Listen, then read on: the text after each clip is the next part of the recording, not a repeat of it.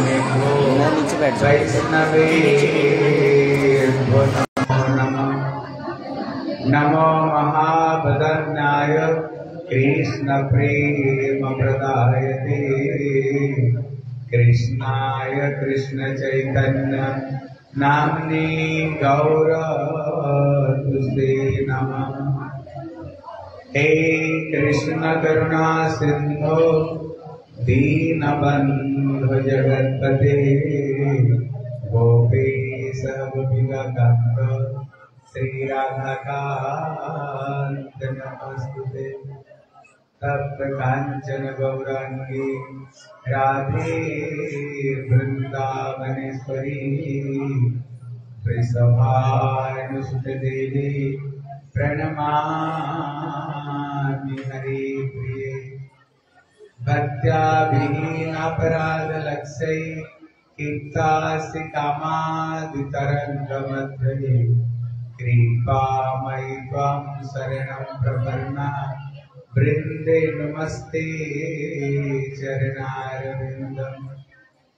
हे श्री सनातन प्रभु करुणाम्बरासे, हे रूप दुर्गत जने दयावलोकै हे भट्ट जुग्म सुमति रघुनाथ दास त्वयि पायन विरह कातर आजुभाव पुत्री तन्मयतया तरवो विनेदुम् स्तं सर्वभूतहृदयम् तस्मै नारायणं नमस्कृत्य नरं चैव नरोत्तमम्। देवीं सरस्वती निरासं ततो जयमुदिरये श्रीकृष्ण चैतन्य प्रभु नित्यानंद श्री अद्वैत गदाधर श्रीवासादि गौर भक्त वृंद सब एक बार हाथ लगा बोलो, हरे कृष्ण हरे कृष्ण। कृष्ण कृष्ण, हरे हरे। हरे राम हरे राम राम राम। हरे कृष्ण हरे कृष्ण कृष्ण कृष्ण, हरे हरे। हरे राम हरे राम राम राम, हरे हरे। सर्वप्रथम, मेरे गुरुपाद पद्म निकलीला प्रविष्ट विष्णु पाद अष्टोत्तर सतश्री श्री श्रीमाद भक्ति श्री रूप सिद्धांत गोस्वामी महाराज जी के चरण कमल में अनंत कोटि साष्टांग धनवत प्रणाम करता हूँ तत्पश्चात मेरे शिक्षा गुरुपाद पद्म निकलीला प्रविष्ट विष्णु पाद अष्टोत्तर सतश्री श्री श्रीमद भक्ति वेदांत श्रील नारायण गोस्वामी महाराज जी के चरणों सरज में श्रद्धा पुष्पांजलि अर्पण करता हूँ। उपस्थित समस्त वैष्णव, वैष्णवी, माता पिताएँ भाई बहन, सभी को मैं यथाविध प्रणाम करता हूँ। हरे कृष्ण। गतकल्य हम लोग श्रवण कर रहे थे, कैसे कृष्ण अजन्मा होते हुए भी उन्होंने जन्म ग्रहण किया है। इसलिए कृष्ण गीता में कहते हैं, अर्जुन बोले अजोपी सन अभयात्मा, भूतानापि ईश्वर विसन प्रकृति समधिष्ठाय, संभवामी आत्ममाया। बोले, हे अर्जुन, मेरा जन्म नहीं है, मैं अजन्मा हूँ। लेकिन मैं अजन्मा होते हुए भी जन्म लेता हूँ। बोले, क्यों जन्म लेते? इसलिए हमारे शास्त्र में इसके बड़ी रहस्य बताए आज इस, इसका रहस्य मैं बताऊँगा आपको और कल आपसे सुनूँगा। ठीक है? ध्यान लगा। कर वृंदावन बिहारी लाल इसका पहला कारण बताए कृष्ण क्यों जन्म हुए? बोले अनुग्रह में और भगवान कल गोकुल में भी जन्म लिए ठाकुर जी मथुरा में भी ठाकुर जी प्रकट हुए। कल ये पहला कारण है। बोले, दूसरा कारण क्या है? बोले, जदा जदा ही धर्मस्य ग्लानी भवत। सुपर्ण का अभी प्रभु राम का रूप देख करे तो वो भागुरी बन गई और बड़ी सुंदर सज धज करके आई। बोले, देखो राम, तू मैं जितने सुंदर, ठाकुर जी तेरे को भी इतना सुंदर बनाए। मतलब मेरे से तुम, प्रभु राम पास में, फिर राम को पास में आए फिर राम ने इनकार कर कौन हो? मैं प्रार्थना करने के बोले, कारण ही, लक्ष्मण समझ गए, उसने प्रभु राम को अपना हृदय में बैठा लिया है। ठाकुर जी को हृदय में बैठा चुके हैं और ठाकुर जी बड़े कृपालु है। कितना भावग्राही जनार्दन। तो उन्होंने कार दिए उसकी। वो जो सुपर्ण का थी, फिर जब भगवान कृष्ण आए फिर सुपर्ण का किस रूप में आई। बोले सुपर्ण का श्री कुब्जा बन करके आई। क्या बन करके आई? बोले, ये कुब्जा बन करके आई।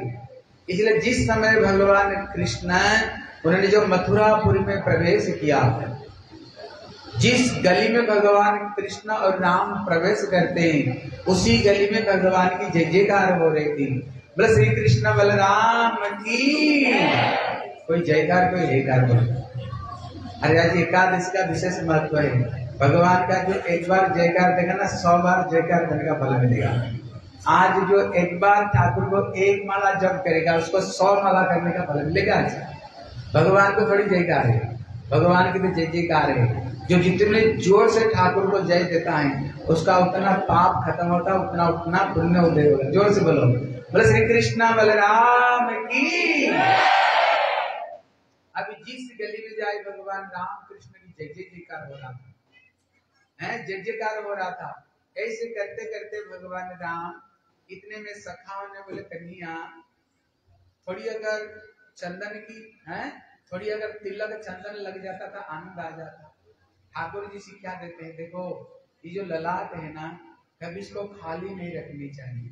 वस्त्र की व्यवस्था हो गई, गले में माला की व्यवस्था हो गई लेकिन एक चीज़ की कमी थी, तिलक नहीं सखाओं के पास तिलक नहीं था कन्या तिलक के बगैर शास्त्र कहता है, जिनकी ललाट में तिलक नहीं। कल बोल रहे था, जिसके ललाट में तिलक नहीं, शास्त्र कहता है, उसको ललाट शमशान है। उसको ललाट शमशान है, जैसे आप सदवा स्त्रियाँ। स्नान करने के बाद सबसे पहले क्या लगाते हैं? सिंदूर लगाते ना, मांग भक्ति हो नियम है, पति को सामने बगैर मांग सिंदूर के नहीं जानी चाहिए, शास्त्र मना करता है। क्योंकि ये विधवा का लक्षण है। पति की परमायु उसमें हानि होती है। भैया, जगत का पति के लिए तो इतना तुमने श्रृंगार कर लिया। लेकिन जो पति का पति, जो परम पति भगवान है, उसके लिए तुमने क्या रखा? क्या तुम्हारे पास में कुछ चिन्ह नहीं इसलिए शास्त्र कहता है, अगर तुम्हारे ललाट में तिलक रहेगी ना, तुम जितने ठाकुर को बोल दो, ठाकुर, तू मेरे, में तेरे हैं। ठाकुर तुम रिजेक्ट करते हैं, बोले, तेरे से कोई मतलब नहीं। तुम्हारे पास में क्या चिन्ह तुम मेरे को मानते हो? दुनिया पति के लिए इतना मांग भर लिए शंखा सिंदूर पहन लिए, लेकिन मेरे लिए तुम्हारे क्या चिन्ह है? ठीक है ना? इसलिए नियम है संत लोग क्या करते हैं? स्नान को एकदम बाद में सबसे पहले तिलक लगाते तिलक लगाए बगैर कभी भी ठाकुर को सामने नहीं जाते जैसे एक पति ज़िंदा है, पति ज़िंदा, अगर पत्नी अगर विधवा का रूप धारण करके पति को सामने जाए, पति उसे स्वीकार करेगा? एकदम सफ़ेद ड्रेस पहन ले, एकदम माँ सिंदूर हटा दे, एकदम विधवा बन करके चली जाए। पति स्वीकार नहीं करेगा ना? उसी तरह ठाकुर को सामने जो व्यक्ति गले में कंठी तिलक नहीं, अगर ठाकुर को सामने जाते हैं ना, ठाकुर एकदम उसको स्वीकार नहीं करते, भैया तो मेरे से कोई मतलब नहीं कोई मतलब तेरे से नहीं रिजेक्ट कर देंगे। इसलिए यहाँ पर सखा लोग कह रहे हैं, बोले कन्या सब तो व्यवस्था हो गई, लेकिन अभी थोड़ी तिलक कमी रह गई। इतने में कुब्जा जा रही थी कंस को श्रृंगार करने के लिए। बोले, ओ सुंदरी सुंदरी, ओ सुंदरी। कुब्जा तीन जगह से टेढ़ी थी, कुबड़ी थी ना, उसको बच्चे देख कर ना डर पर भाग जाते इतने देखने में बदसूरत थी। लेकिन कुब्जा बोली भैया सुंदर सुंदर मेरे को कौन करे जीवन में तो मेरे किसने सुंदरी बोल कर बोला ही नहीं। इतने में देखा कृष्ण बलराम को ये क्या सुंदर जोड़ी, अपूर्व सुंदर। बोले, भैया, हमारे सखाओं को हमें थोड़ा तिलक लगा दोगे? बोले आपको नहीं लगाऊँगी तो फिर मैं किसको लगाऊँ? फिर कुब्जा ने क्या की? बड़े सुंदर उन्होंने सखाओं को और कृष्ण बलराम को बड़े सुंदर में तिलक लगा दिए, धारण करा दिए। इतने में सखाओं ने बोले, कन्हैया, तू तो कल लेनो ही लेने जानते हो देना तो कभी सीखा नहीं। बोले, बताओ। बोले, देख, ये तीन, ये कैसे कुबड़ी है? ये कैसे कुबड़ी है? बोले, भैया, जोड़ी तो बड़ी प्यारी, हम भी तीन जगह से टेढ़ा हूँ, ये भी तीन जगह से टेढ़ी, जोड़ी तो बड़ी प्यारी बन रही बोले, कन्हैया, उसको थोड़ा सीधा कर दे। बस कृष्ण ने क्या, किया। एक पैर के ऊपर में एक प्यार रखे, कमर में एक हाथ और धरे। थोड़ी में एक हाथ पकड़ के रखे ऐसे झटका मारी ना पूरा प्लास्टिक की सर्जरी कर दिया। इतने सुंदरी बन गई, इतने सुंदरी बन गई। अपना रूप को देख करके ना अपना काम को संभाल नहीं सके। इतने सुंदरी बन गई ठाकुर स्पर्श किया ना, इतने में उसने कृष्ण की दोपटा को पकड़ लिया। बोले, प्रभु, ये रूप आप ही दिए हो। इसको आप ही भोग कर सकते हो। बोले, शर्म नहीं लग रहा है? सामने जेठ खड़े हुए कौन? बलदेव सामने बलदेव प्रभु ने बोले जेठ खड़े हुए तुम कपड़े तुम कपड़े पकड़ कर खींच रहे हो? हैं? इसलिए बोले देखो कंस मामा को उधार करके फिर मैं वापस आऊँगा। अभी नहीं। इसलिए वही जो कौन थी जो उन्होंने रामलीला में हाँ, सुपर्ण खाई क्या की फिर कृष्ण लीला में आई तो ठाकुर जी इसकी इच्छा को पूरी किए। बोले, श्री कृष्ण के नहीं लाल की। बोले, इसका चतुर्थ कारण क्या है? देखो, आज याद रखना, कल सबको पूछूँगा। मैंने बताया था ना काफ़ी पेन लेकर गया ना भाई काफ़ी पेन नहीं लाते। हरे कृष्ण, इसलिए इसकी चतुर्थ कारण बताया। कल आप लोगों ने बामन देव आए थे, देखा कि नहीं? जब भगवान बामन देव प्रकट हुए, बड़ी सुंदर थे ठाकुर ठाकुर जी रूप धारण किया है ना जब ठाकुर जी बड़ी सुंदर रूप धारण करके आए थे, अभी माताओं को अंदर में एक गुण क्या है। अगर किसी छोटे, बड़े सुंदर किसी बच्चों को देखे ना, माताओं के मन में हृदय होता है। क्यों? माताएँ बात्सल्य का रूप है। माताएँ प्रेम का रूप है। अगर किसी सुंदर बच्चे को देखे, क्या इच्छा करता है? ये बच्चे को गोद में लेकर हम प्यार करें। ये स्वाभाविक रूप में माओ की इच्छा। इसलिए भगवान जब बलि महाराज के दरबार में गए बलि महाराज की एक बेटी थी, जिसका नाम थी रत्नमाला। क्या नाम थी? रत्नमाला थी। उसने भगवान बामन रूप को देख करके इतने खुश हो गई, बोले, क्या सुंदर है, क्या अग्निदेव प्रकट हो गए, ना स्वयं चतुसन प्रकट हो गए, ना चंद्रदेव स्वयं प्रकट वहाँ पर हो गए इतने सुंदर देखने में ठाकुर जी थे।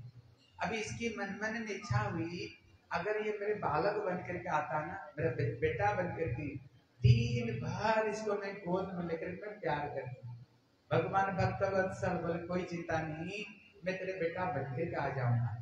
लेकिन ठाकुर जब एक पग में उन्होंने संपूर्ण भूर भुव मोह जना और तपलोक और सत्य सत्यलोक को जो एक चरण से नाप लिया और उनकी चरण जब सत्यलोक में पहुँचा, पितामह ब्रह्मा जी चरण को अभिषेक करते हुए उनकी चरणामृत को कमंडल में रखा। वही क्या बनी गंगा?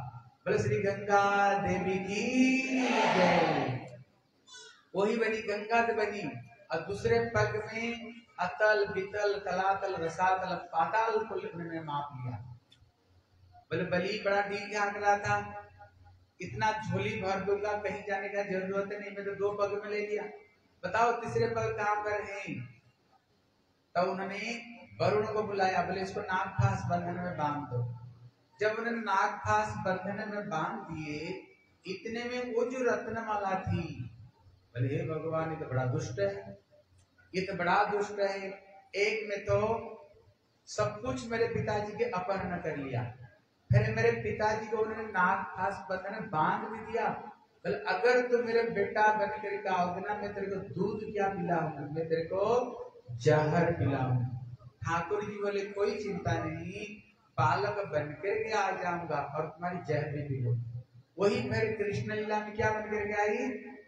ये पुतना बन करके आई और ठाकुर जी की, ठाकुर जी को उन्होंने गोद में भी लिया, ठाकुर जी स्तन भी पान किया और ठाकुर जी उसको उधार भी किया है। बोले, श्री कृष्ण कहते लाल की कहते, इसकी जो पंचमा कारण बताए ये प्रश्नी और सुतपा ये दोनों राजा रानी थे। ये दोनों ने समस्त राज भोग को परित्याग केवल पेड़ से जो पत, सूखे पत्ते गिर जाते थे उसको खा खा करके उन्होंने दस हज़ार साल तक उन्होंने तपस्या की। भगवान विष्णु प्रसन्न हो गए। बोले बेटा तुमने कठोर तपस्या की बताओ क्या चाहते हो? बोले प्रभु आप जैसे मेरे को बेटा चाहिए। बोले, देखो, मेरे जैसे तो बेटा भी होगा ही नहीं। क्योंकि भगवान को बताया, असमर्थ तत्व। मतलब मेरे से बड़े की बात छोड़ दो, मेरे बराबर की जगत में कोई नहीं है। इसलिए मैं तुम्हारी प्रेम में संतुष्ट हूँ। अगले जीवन में मैं तुम्हारी बेटा बनकर आऊँगा और जो कृष्णी और जो सुतोबा थे फिर दूसरी जीवन में देवकी ये वसुदेव बन करके आए। और ठाकुर जी अजन्मा होते हुए अभी ठाकुर जी उनके घर में जन्म लिए, और कल हम लोगों ने नंद के आनंद भयो चैतन्या लाल की। इसलिए हम लोग ने इतने उत्सव बनाए कभी ये छठवा कारण हो गया। तो इसका सप्तम कारण क्या है? कहते, द्रोण और धरा, ये भी दोनों राजा रानी थे। देखो, एक ने भगवान विष्णु को उपासना की, और एक भगवान की भक्तों को उपासना की। किसको बोले? ब्रह्मा जी को। ये ब्रह्मा जी हमारे आदि गुरु है। कहते, भगवान की भक्ति में जितना फल तुमको मिलेगा, अगर तुम भक्तों को भक्ति करो ना, उसमें ज़्यादा फल मिलेगा।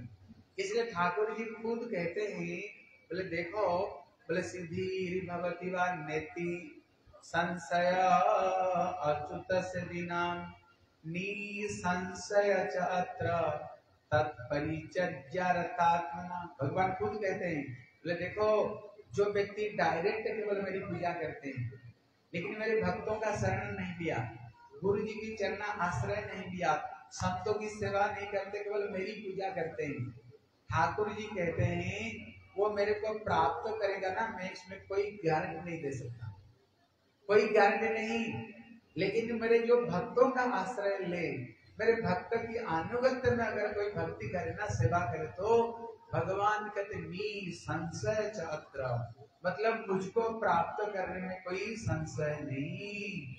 इसलिए भगवान का एक नाम है भक्त वत्सल भगवान। बोले, श्री भक्त वत्सल भगवान की इसलिए कृष्ण सुतपा किसको भजन किया था? मतलब विष्णु को। लेकिन ये द्रोण और धरा किसकी उपासना की ब्रह्मा जी को। ये ब्रह्मा जी हमारी आदि गुरु है। ये द्वादश महाजन में बारह महाजन में एक बहुत बड़े संत महाजन है। जब इनकी उन्होंने उपासना की, बोले, बताओ क्या चाहिए? बोले, प्रभु, जैसे भगवान अजन्मा होकर के, जैसे माँ की पेट से जैसे बच्चा जन्म लेते हैं, मैं चाहता हूँ ठाकुर जी, मेरे गर्भ से स्वाभाविक रूप में जन्म ग्रहण करें। और जैसे कि माँ बच्चे को शासन करती है लाल लड़ा लड़ाती है, पल्ले में झुलाती है। मैं चाहता हूँ ठाकुर जी, मेरे साथ में स्वाभाविक रूप में ये लीला करें।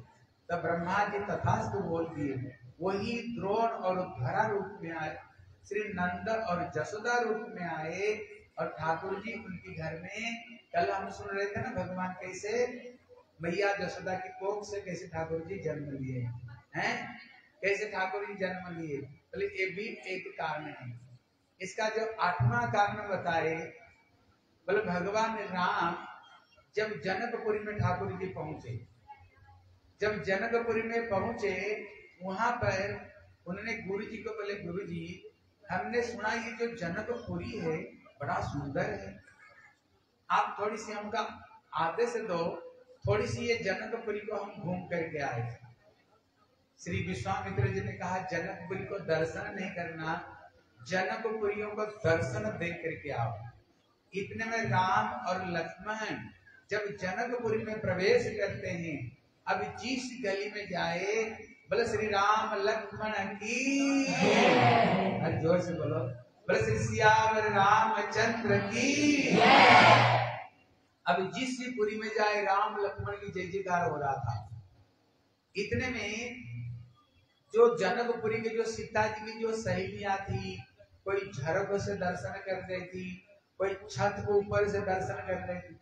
लेकिन झरक से जो दर्शन कर रहे थे, उनको तो ठाकुर का दर्शन हो रहा था।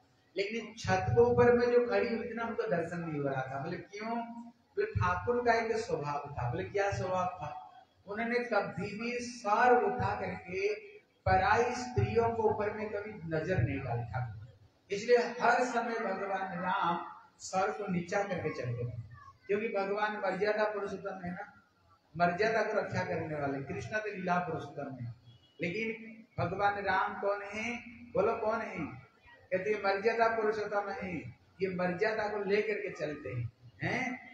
मर्यादा का बगैर कोई कृष्ण लीला में प्रवेश नहीं कर सकते हैं। इसलिए कभी उन्होंने सर को उठाकर किसी को देखे नहीं, कभी स्त्रियों को। इसलिए भगवान राम सर नीचे करते हुए जा रहे थे।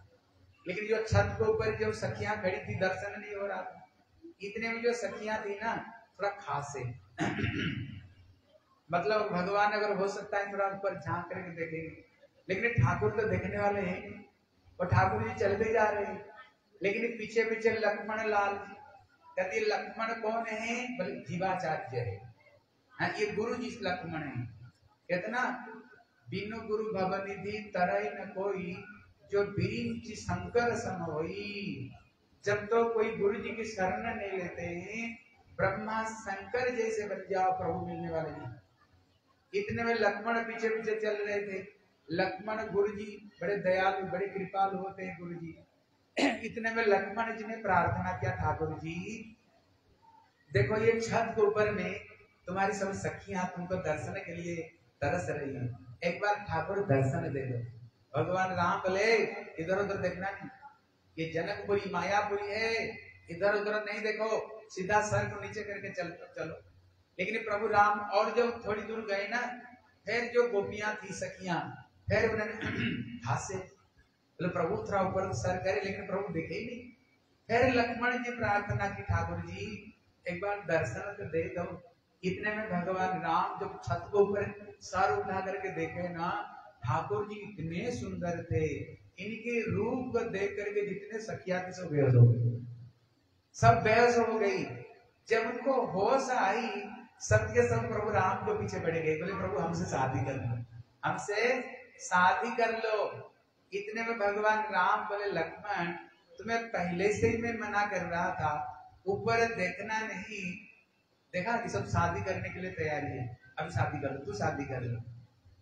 इतने में भगवान राम बोले, देखो, ये रामा अवतार में एक सीता के सिवाय में और किसको में ग्रहण नहीं कर सकता लेकिन जब मैं कृष्ण बन करके आऊँगा ना, सबकी इच्छा तो मैं पूरी करूँगा। तुम सबके सब सब कृष्ण अवतार में आओ। बोले, श्री कृष्ण कन्हैया लाल की देखो, हमारी कन्हैया कितने दयालु। ये चीज़ को देखो। इसलिए यहाँ पर हमारे टीकाकार कहते भैया इधर उधर कोई भगवान का अवतार भले ही हो सकता है मत्स्य, कुर्मा, बराह नृसिंह राम, बलराम हो सकता है। अगर तुम भजन करना ना, कृष्ण भजन कर। बोले, क्यों? कारण क्या? बोले, कारण है, कृष्ण ऐसे एक अवतार है गुण भी बन करके आई। लेकिन प्रभु उसको भी स्वीकार किया। उतना भी बन करके आई। ठाकुर जी, इसको भी स्वीकार किया ठाकुर जी। राम अब रामावतार में उन्होंने बहुत को ग्रहण नहीं किया है। बहुत बहुत लोग इच्छा की, लेकिन ठाकुर जी उनको स्वीकार नहीं किया। लेकिन कृष्ण अवतार, ऐसे एक अवतार है। क्यों? कृष्ण क्यों सबको ग्रहण किया? बोले, कारण है जो कृष्ण है ना, बोले, कृष्णस्तु भगवान स्वयं। ये पूर्ण ब्रह्म है। ये पूर्ण ब्रह्म होने का नाते इनके अंदर में समस्त शक्ति निहित है। समस्त शक्ति इनके अंदर में। ये सब काम को ये कर सकते हैं, लेकिन दूसरे दूसरे अवतार सारे काम को नहीं कर सकते, क्यों?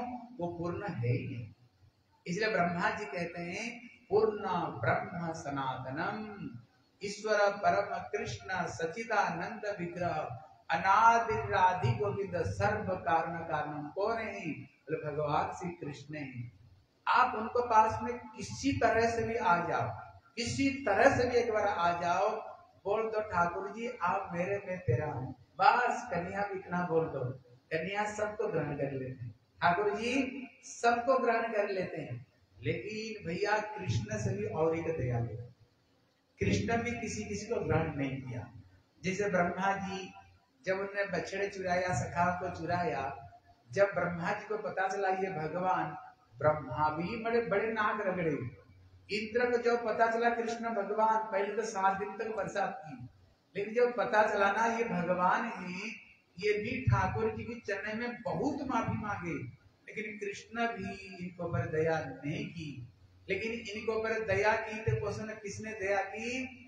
जब वही कृष्ण कलयुग में सचिनंदन गौर हरि बन करके आए, कृष्ण स्वयं राधा जी की भाव, अंग कांति लेकर के जब श्री सचिनंदन गौर हरि बन करके महाप्रभु रूप में आए तो उन्होंने सबको ग्रहण किया, क्योंकि राधा रानी बड़ी दया कृष्ण तो किसको मारे, प्रभु राम तो किसको मारे, लेकिन राधा रानी कोई शक्ति ना किसको कभी मारे इसलिए राधा रानी बड़ी दयालु, राधा रानी बड़ी कृपालु।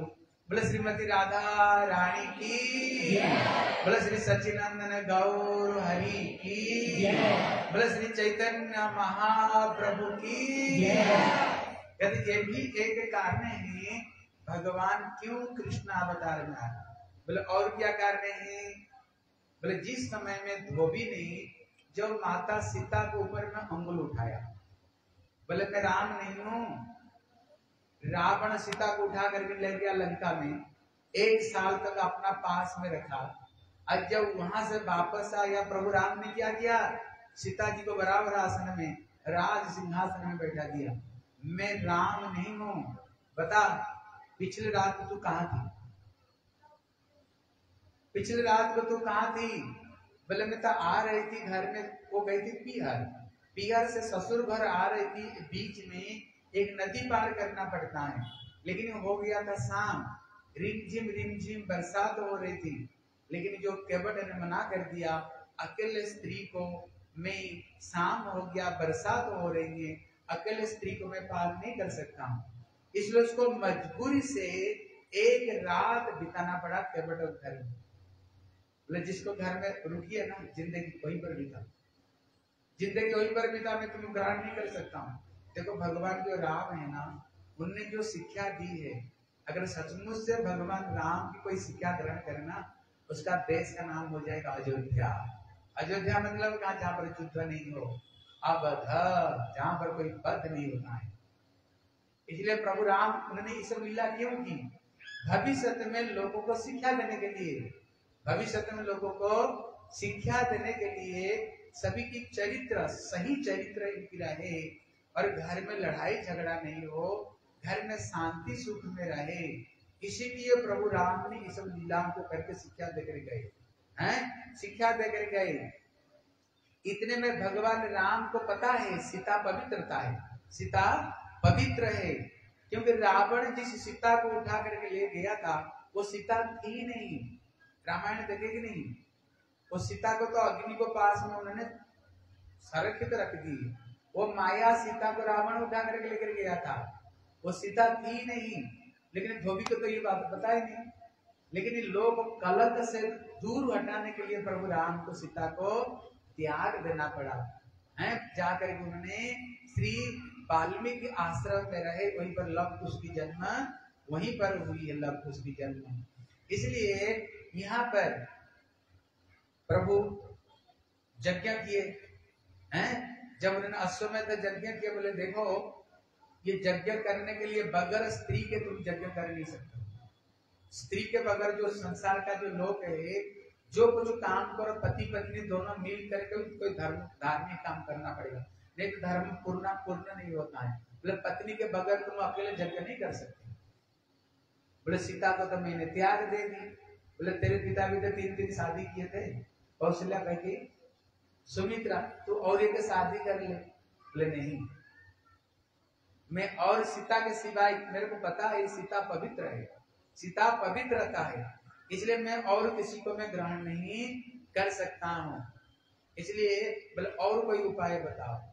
बोले, आप सोने की सीता बना करके अपना बाम पार्श्व में रखो और यज्ञ कर सकते हो। ये तो कर सकता हर साल एक एक यज्ञ के कितने साल? ग्यारह हज़ार साल। हर साल एक सोने की सीता बनती थी, वशिष्ठ प्राण संचार करते थे, वो सीता साक्षात बन जाती अभी प्रश्न करते हैं करीब ग्यारह हज़ार सीता गई कहा? तो जीवंत रूप में हो गई। कहा गई? बोले, जब कृष्ण आए, उसी समय ये जितने सीता थी ना ये सब के सब गोपी बन करके आए, अब हमारे प्रभु कन्हैया ने ये सबको ठाकुर जी ने स्वीकार करके उनको अपना चरण में स्थान दिया। बोले, श्री वृंदावन बिहारी, लाल की बोले, श्री कृष्ण कन्हैया, लाल की जय। जय श्री इसलिए गतकल ये सब विभिन्न कारण गुरुदेव के ग्रंथ निकाले। जिसका नाम कृष्ण लीला की अवतार का रहस्य दिया है? उसमें तो बहुत बहुत गुरुदेव ने कारण बताए हैं। गुरुदेव ने कारण बताए। कल हम लोग श्रवण कर रहे थे, देखो, और एक चीज़ को समझो। कृष्ण कहाँ पर जन्म हुए? कौन बोलेगा? कृष्ण जब जन्म हुए, कहाँ पर जन्म हुए? और ज़ोर से बोलो, पीछे जो बैठे सब बोलते हैं मथुरा। हाँ? देखो, वो एक बोल रहा है कारागार देखो हाँ देखो, जो व्यक्ति डायरेक्ट ये भागवत ग्रंथों को पढ़ेगा ना तो जिनको पूछो, भैया, कृष्ण कहाँ जन्म हुए? अच्छे तरह से चीज़ को दिमाग में बैठो, बढ़िया से।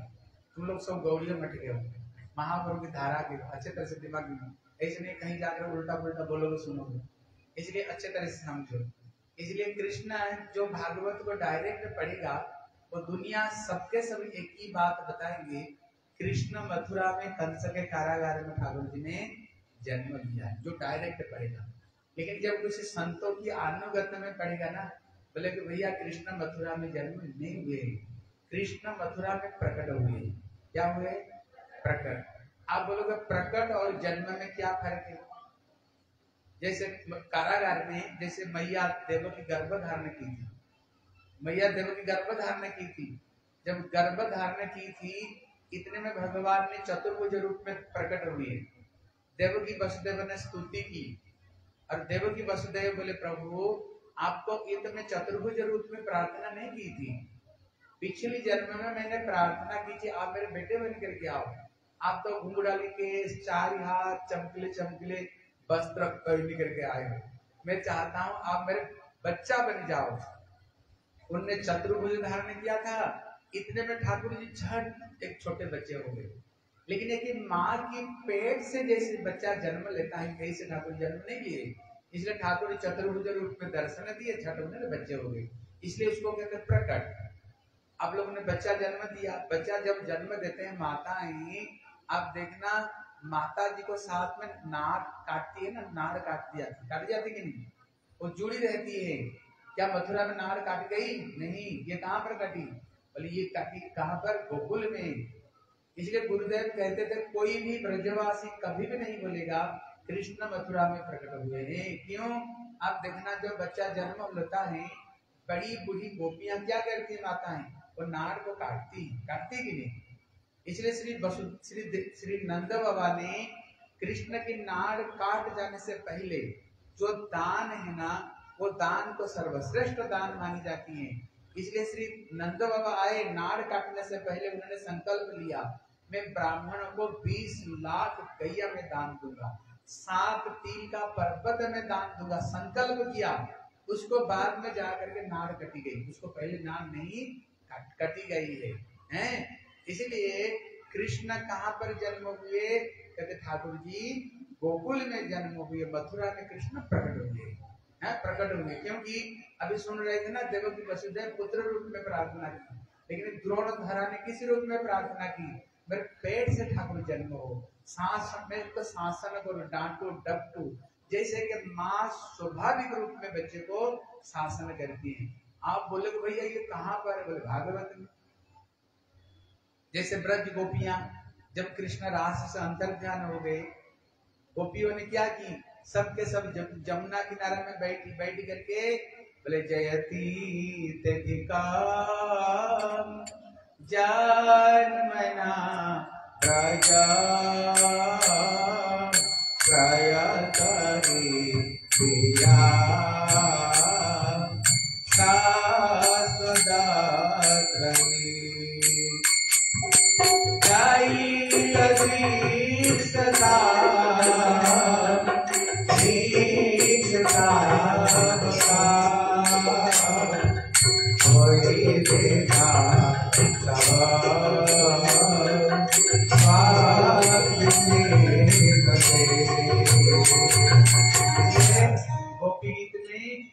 समस्त ब्रज गोपियाँ और राधा रानी खूब कहती हैं, कृष्ण कहाँ पर जन्म हुए? बोले जयति ते कम जन्म न ब्रज। कृष्ण ब्रज में ही जन्म हुए। पितामह ब्रह्मा जी, जब भगवान को स्तुति करते हैं, वो क्या कहते हैं? बोले, नौ मिटते अभ्र से तड़ितांबराय गुंजाब तंस परिपीच लसत मुखाय। वहाँ पर भी कहते हैं पशुपान बजाय पशु का मतलब जो गैया को पालन करने वाले कौन है? नंद बाबा। उनकी अंक से जो प्रकट हुई है कृष्ण कौन है? श्री नंद के लाला। सुखदेव गोस्वामी, उन्होंने अठारह श्लोक में नंदोत्सव को वर्णना की। पहला श्लोक क्या है? बोले, नंदस्तु आत्मद जाता भाद महात्मा इसलिए हम कहते ना, नंद के आनंद भयो ज़ोर से बोलो। नंद के आनंद भयो क्या कोई कहते हैं, वसुदेव का आनंद भयो नंद के आनंद भयो है क्योंकि नंद बाबा ने कृष्ण को उसने जन्म दिया है? इसलिए गर्गाचार्य भी स्वयं गर्गाचार्य भी कहते हैं, बोले, प्राग अयम वसुदेवस्य क्वचित जाता तबात्मज बोले, नंद बाबा, ये तेरा बेटा ही है। लेकिन ये कभी वसुदेव का भी बेटा बना है, इसलिए इसका नाम एक वासुदेव। होगा इसलिए भागवत में बहुत सारी जगह पर कृष्ण गोकुल में जन्म हुए हैं इनकी बड़ी बड़ी प्रमाण है। इसलिए गतकल्य श्रवण कर रहे थे कृष्ण कैसे गोकुल में नंद के लाला बन कर कैसे आए? बोले श्री नंद के लाला की ज़ोर से बोलो बोले श्री नंद के लाला की बोले श्री कृष्ण के कन्हैया लाल की इसलिए जिस समय श्री नंद के लाला भयो सारे ब्रजवासी वहाँ पर आए और सबके सब कृष्ण को बधाई दे रहे थे। बोले जुग जुग जियो रे जसोदा मैया, तेरे बोले लेना। कृष्ण का सबके सब उन्हें बधाई दे रहे थे। नंद बाबा ने है, सब ब्रजमंडल को उन्होंने स्वागत किया। जब स्वागत किया, वहाँ पर सबके सब तो आ गए। लेकिन अभी तो केवल दो व्यक्ति नहीं आए। बोले कौन कौन नहीं आए? एक वृषभान महाराज और एक कीर्तिका सुंदर।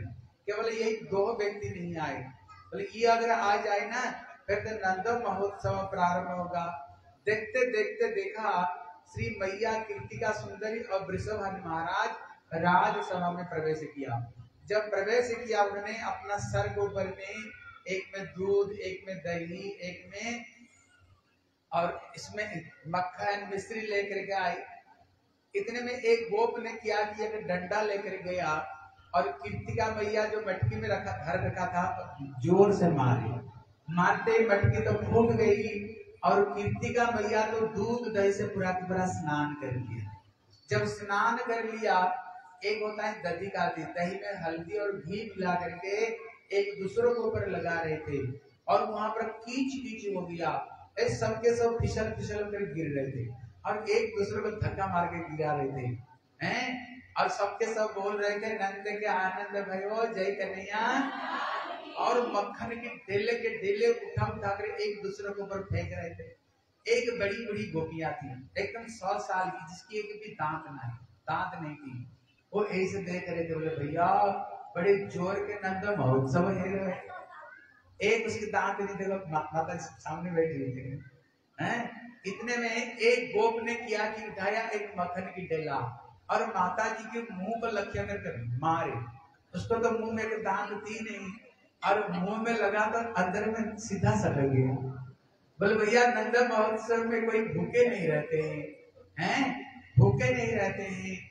अभी वृषभान महाराज राजा है ना, नंद बाबा राजा है, उनकी आँगन भी बहुत बड़ी थी। इतने दूध, दही, मक्खन वहाँ लाए थे, वो पूरा पूरा भरा हुआ था। लग रहा था जैसे एक समुद्र मंथन हो रही है। और सबके सब नंद के आनंद भयो जय कन्हैया, सबके सब गा रहे थे। लेकिन नंद बाबा तो मटक मटक कर देख रहे थे। ए, जितने नंदगांव बरसाना का गोप थे, बोले, बाबा, आज तेरे घर में लाला भयो है अरे तू मटक मटक कर देख रहे हो। अरे, एक बार आ जाइया एक बार हमारे साथ में नाच तो लो। उनको खींच करके पूरा उसको बीच में ले आए। हैं, जब ले आए, उन्होंने कमर में कट्टे को बाँध कर रखे थे। एक तरफ़ में नंदगांव के ब्रजवासी, दूसरे तरफ़ में बरसना के ब्रजवासी, दोनों तरफ़ में दोनों खड़े हुए पकड़ करके। ऐसे लग रहा था, मानो यहाँ पर समुद्र मंथन। कौन समुद्र? यहाँ पर दूध समुद्र, खीर समुद्र मंथन होने जा रहा है। जैसे गत गतकल्य हम लोगों ने समुद्र मंथन सुना, सबसे पहले निकला हला हला बीस। लेकिन जिसको शंकर जी पान करके गले में धारण किया तो शंकर जी का एक नाम हो गया नीलकंठ। बोले, श्री नीलकंठ महादेव की जय। लेकिन यहाँ पर सर्वप्रथम कौन निकला? बोले आनंद कंद स्वयं भगवान श्री कृष्णचंद्र यहाँ पर स्वयं निकले। कल जो हम श्रवण कर रहे थे समुद्र मंथन से चौदह रत्न निकला था। लेकिन यहाँ पर श्री सुखदेव गोस्वामी कहते पर रमा क्रीड़न, अभूत, नृप। नंद बाबा ने इतनी सोना चांदियों को दान दी। ब्राह्मण लोगों तो गठली बाँध बाँध करके नहीं ले पा रहे थे। गठली की कोने से गिरते गिरते गिरते गिरते जा रहा था। पूरा अली गलियों में हीरे जवाहरात बिखर रहा था। ऐसे लग रहा था, मानो कृष्ण गोकुल में जन्म लेने पर साक्षात लक्ष्मी गली गलियों में माँ लक्ष्मी स्वयं नाच रही है। कैसे लग रहा था? और वहाँ पर स्वयं श्री शंकर भी आए थे। इतने में श्री शंकर जब आए थे नंद बाबा ने बीस लाख गैया दान दी। कितना गैया दान दी? उनने बीस लाख गैया दान दी। इतने में शंकर तो चक्कर में पड़े थे। बोले, क्यों? बोले, शंकर जी का वाहन कौन है? सब चुप हो गए नंदी, अभी तो पहले है ना, गैया है ना? शंकर जी ने देखा, उतने बीस लाख गैया दे रहे हैं। ऐसे नहीं वो गैया को दान देते थे अगर भूल से अगर मेरे नंदी को दान दे देंगे तो मैं बैठ कर किस भी जाऊँगा? उन्हें तो पूछ को पकड़ कर खड़े हो गए। और वहाँ पर मैया पार्वती भी आई थी, उनको भी दो लाला है। कौन कौन है? कार्तिक और गणेश इसलिए कहते हैं ना, हाथी घोड़ा पाल की बोले, भैया, इतने हाथी घोड़े दान दे रहे हैं, मेरा बेटा तो गजानन गणेश। ऐसे नहीं गणेश को हाथी मान कर अगर दान में चला गया तो फिर मेरा बेटा ही चला जाएगा। मैया पार्वती ऊपर उठा कर गोद में लेकर चिपका कर खड़ी हो गई। वहाँ पर स्वयं कुबेर। कुबेर कौन? स्वर्ग का सारे धन दौलत के जो मालिक हैं, वो भी आए थे। लेकिन नंद बाबा आज इतने दान दक्षिणा कर रहे थे, कुबेर का सर भी नीचा हो गया। बोले, भगवान, मेरे को झूठ मूठ के कुबेर बनाए। आज नंद बाबा इतने धन दौलत लुटा रहे हैं, भैया, मेरे पास में भी इतने नहीं। बेकार मेरे कुबेर बना दिया। इसलिए सबके सब वहाँ पर आनंद में नाच रहे थे, गा रहे थे। लेकिन एक व्यक्ति बड़ी दुखी होकर बैठे थे। वो नहीं नाच रहे थे। बोले, वो कौन थी? बोले, रोहिणी। बोले, रोहिणी कौन है? ताऊ भैया की माँ। ताऊ भैया की मैया रोहिणी बोले, वो क्यों चुपचाप बैठी हुई? बोले, वो प्रोसित भद्रिका बोले प्रोसित भद्रिका मतलब क्या? जिसका पति दूर देश में हो और कहीं कहीं बंदी में हो, कहीं कष्ट में अगर पति हो पत्नी सबके साथ में कभी नाचेगी? नाचेगी कभी? पति कौन? वसुदेव महाराज। मथुरा में कारागार में बंद है। उसकी पत्नी कैसे सबको सामने नाचेगी कैसे? वो बड़ी दुखी होकर के बैठी है इतने में श्री नंद बाबा ने देखा, भैया, सारा दुनिया आकर के उत्सव में नाच रहे, गा रहे घर के सदस्य ही यहाँ पर है रोहिणी का ढूंढते ढूंढते गए। देखा, भैया, रोहिणी तो बड़ी दुखी होकर बैठी हुई। बोले, जसोदे, रोहिणी, घर में तुम दो ही स्त्री हो। एक रोहिणी, एक जसोदा। अभी जसोदा आज बेटा जन्म दिया तो घर का काम संभाल नहीं सकती। अभी तो काम को तो तेरे को देखना पड़ेगा। मेरे को पता है तेरे पति कहाँ पर है मथुरा में, कारागार में। लेकिन कम से कम लाला को तो आशीर्वाद दे क्या इतने में रोहिणी आई। आ करके बलदेव प्रभु जन्म से, पंद्रह दिन पहले बलदेव प्रभु जन्म हुई वो जन्म से आँख बंद करके रखे। बोले, सबसे पहले मैं जब आँख खोलूँगा, सबसे पहले मैं कन्हैया को देखूँगा, फिर दुनिया को देखूँगा। तब तो उन्होंने बलदेव प्रभु को कृष्ण को पास में लेटा दिया। इतने में बलदेव को पता चला तो मैं कन्हैया को पास में आ गया। और जब उन्होंने आँख खोला ना, सामने किसको देखा? भगवान श्री कृष्ण का दर्शन किया।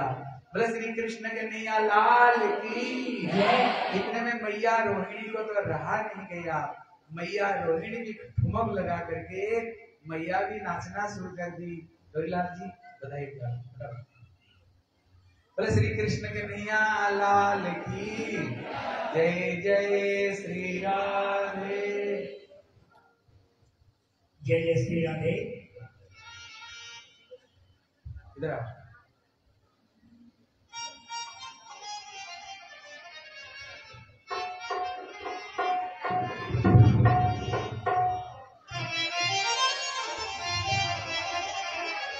जय जय श्री राधे।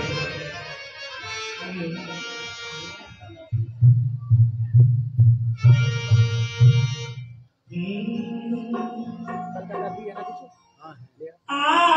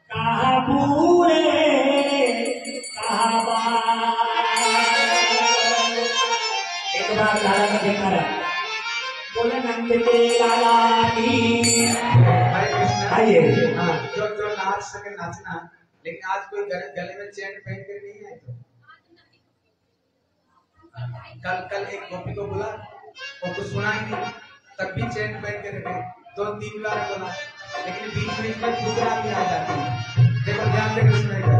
हरे कृष्ण, देखो भगवान के दरबार में ये सब चोरी फोरी नहीं करनी चाहिए। क्योंकि उसको देने में जैसे नहीं लगता है ना। उसको लेने में भी समय नहीं लगता है। उसको देने में जैसे नहीं लगता, लेने के लिए भी समय नहीं लगता है। चोरी क्यों करते हैं? गरीबी क्यों बना? पहले जन्म में कोई पाप कर्म किया होगा जिस वजह से गरीब बने। अगर इसी जीवन में भगवान के दरबार में कोई अगर करेगा ठाकुर जी को तुम्हें दंड देते तो सोच भी नहीं सकते हैं। जो सोच भी नहीं सकते भैया भगवान के दरबार में देने में देर नहीं लेने में देर नहीं। ये सब गलती काम करने के लिए आप नहीं आए। हाँ, बोलो। बोलो। जन्म लियो मैया के आँगन में लाला जन्म लियो आइए आइए जन्म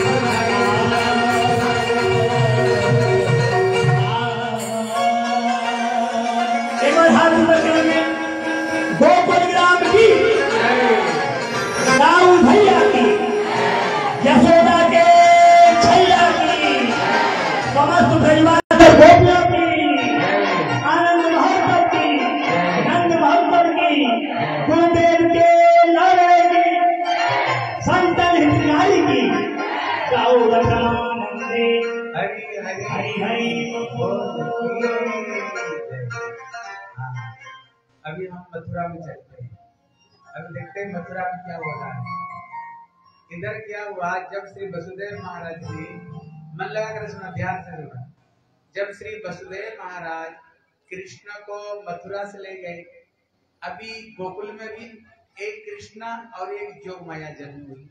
मथुरा में भी एक कृष्णा। अभी कितने कृष्णा हो गए? अरे बोलो कितना कृष्ण हो गया दो कृष्ण। अभी एक कृष्ण फिर कहा गया। बोले, मथुरा में जो कृष्ण, ये अंश कृष्ण है। और जो गोकुल में जो कृष्ण, ये पूर्ण कृष्ण है। लेकिन ये पूर्ण कृष्ण ने क्या किया? वो जो अंश कृष्ण को अपना शरीर में उन्होंने मिला लिया लेकिन ये रात को वसुदेव महाराज को पता ही नहीं चला। वसुदेव महाराज क्या सोच रहे हैं? कृष्ण मेरे लालो, लाला है। और नंद बाबा क्या सोच रहे लाला मेरो है। लेकिन दोनों का ही लाला है। कृष्ण दोनों का ही, दोनों का ही ये लाला है।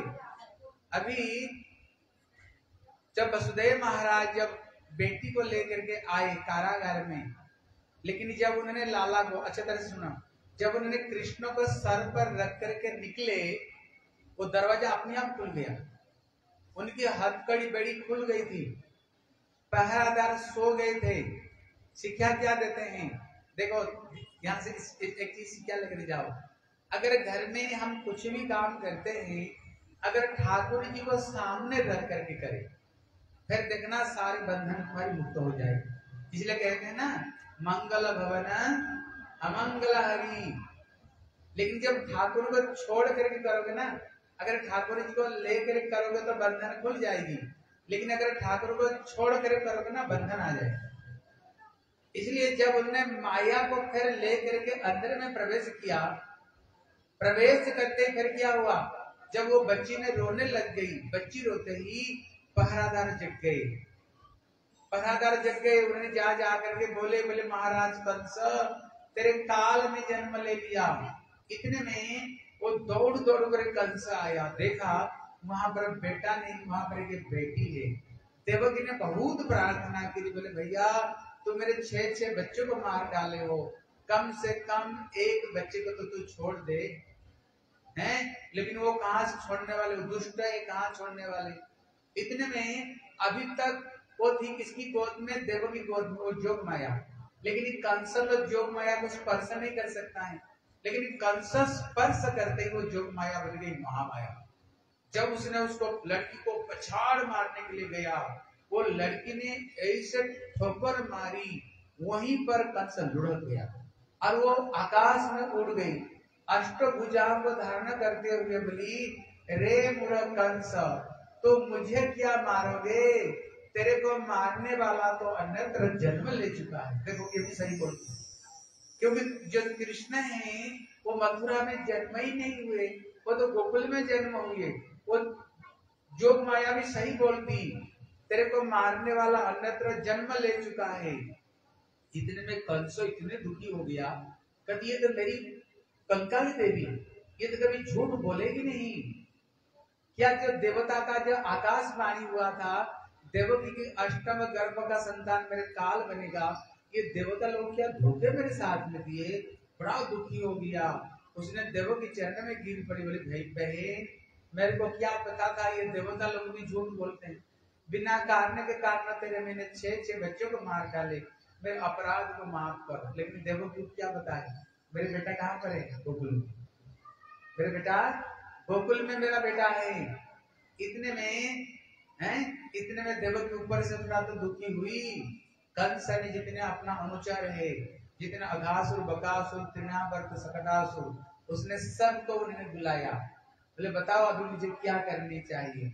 इतने में पुतना मासी खड़ी हो गई। बोले, भैया, मेरा नाम ही पुतना पुतना मतलब क्या है? जिसका पूत नहीं। इसलिए मेरा नाम ही पुतना है। जब पुतना मेरा नाम करिए पूत का क्या कहा देख भैया मैं तो अपना मन मर्ज़ी रूप धारण कर सकती हूँ। अपना मन मर्ज़ी रूप धारण कर सकती हूँ। अगर तेरे काल कहीं जन्म लेगा, एक महीना को अंदर में तो जन्म लेगा। बोले हाँ दही बोले, चिंता क्यों करती है? बोले आदेश देना सारे बच्चों को मैं मार डालूँगी। बोले, बहन, तू जल्दी जल्दी ये काम को तुम जल्दी जल्दी करके जाओ। इतने में पुतना कहाँ पर चली आई? बोले, गोकुल में आ गई आ गया। हमारे प्रभु जी हर साल पुतना को मारते हैं कि अभी पुतना को मरवाएँगे इसलिए अभी इधर सुनो ध्यान दे करके। पुतना अभी गोकुल में तब हमारी यहाँ टीकाकार एक प्रश्न करते हैं। इसलिए टीकाकार यहाँ प्रश्न खड़े हुए बोले इसलिए टीकाकार लोग प्रश्न करते हैं। मन लगा कर सुनो। कहते ये क्या है? भगवान का धाम गोकुल में कहते ये पूतना मतलब क्या? जो पूत मतलब होता है, पवित्र ना मतलब नहीं। जो पवित्र नहीं, जो अपवित्र। ध्यान देकर सुना कर जो पवित्र नहीं, अपवित्र। बोले, भैया, ये अपवित्र कहाँ प्रवेश करती है? बोले, नजत्र श्रवणादिनी रक्त खान सुकर्म ध्यान लगा के सुना। ये पाप राक्षसी किस घर में प्रवेश करेंगे? बोले, जिस घर में प्रभु का कीर्तन भजन भजन नहीं होता केवल कमा करके लाओ और खा करके जानदार जैसे मर जाए तो उसी घर में ही ये सारे पाप, उसी घर में प्रवेश करता है। इसलिए कहते ना, मंगल भवना, अमंगला इसलिए श्री चैतन्य महाप्रभु जब सन्यास लेकर के जा रहे थे, महाप्रभु सारे भक्तों को बुलाए महाप्रभु ने कहा, तुम लोग मेरे को प्रेम करते कि नहीं? बोले, प्रभु, आप तो हमारे प्राण हो। अगर मेरे को प्रेम करते हो, ठाकुर जी कहते हैं। तुम लोग सबके सब शाम को हो, नहीं तो सवेरे हो। थोड़ी समय जब घर के सारे सदस्य घर में आ जाए, थोड़ी समय के लिए सबके सब बैठना। अगर पास में मजीरा हो, अगर ढोलकी हो, अच्छी बात है। अगर कुछ भी नहीं होना, ठाकुर जी ने हाथ दिया है। ये हाथ में थोड़ी सी ताली बजाते हुए करताल बजाते हुए थोड़ी समय घर में हरि कीर्तन करो। अब स्वयं देखना, अगर घर में थोड़ी हरि कीर्तन होगा ना जितने दूर तक वो आवाज़ जाएगी, वहाँ पर किसी तरह का दुख और कष्ट का पाप ताप जितने गति जो घर से निकल जाएगा, अगर जिस घर में हरि नाम होगी है? और देखना दिन भर परिश्रम परिश्रम किए हो। लेकिन केवल दस मिनट बैठ कर कीर्तन कर लो, देखना, समस्त दुख कष्ट मन समाप्त हो जाएगी। मन को शांति मिलेगी। इसलिए महाप्रभु स्वयं कहते हैं, जो मेरे को प्रेम करते हो मतलब भगवान को जो प्रेम करते हो ठाकुर जी कहाँ रहते हैं? रहते कहाँ पर? भगवान खुद कहते हैं, मत भक्ता जत्र गायन तत्र तिष्ठा जहाँ पर मेरे भक्त लोग एकत्रित होकर मेरे कीर्तन करते हैं, मैं वहीं रहता हूँ। अगर आपका घर में कीर्तन होगा ना, ठाकुर सब कुछ छोड़कर तुम्हारे घर में आ जाएँगे। कृष्ण का प्रकट हुए जो गोपियों ने कृष्ण की कीर्तन की तभी भगवान प्रकट हुए इसलिए एक चीज़ भागवत से गांठ बाँध कर ले जाओ। क्या ले जाओगे? शाम को जब सब सदस्य घर में आ जाए, थोड़ी समय पूरा परिवार को लेकर बैठो। बैठ करके ये जो भगवान की जो कीर्तन है, बोले, हरे कृष्णा हरे कृष्णा कृष्णा कृष्णा, हरे हरे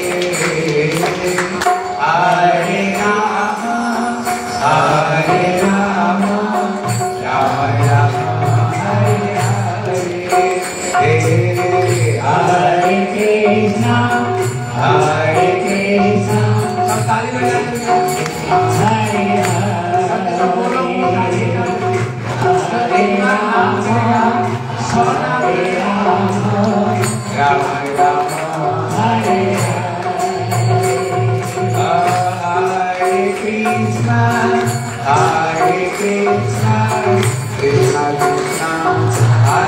하리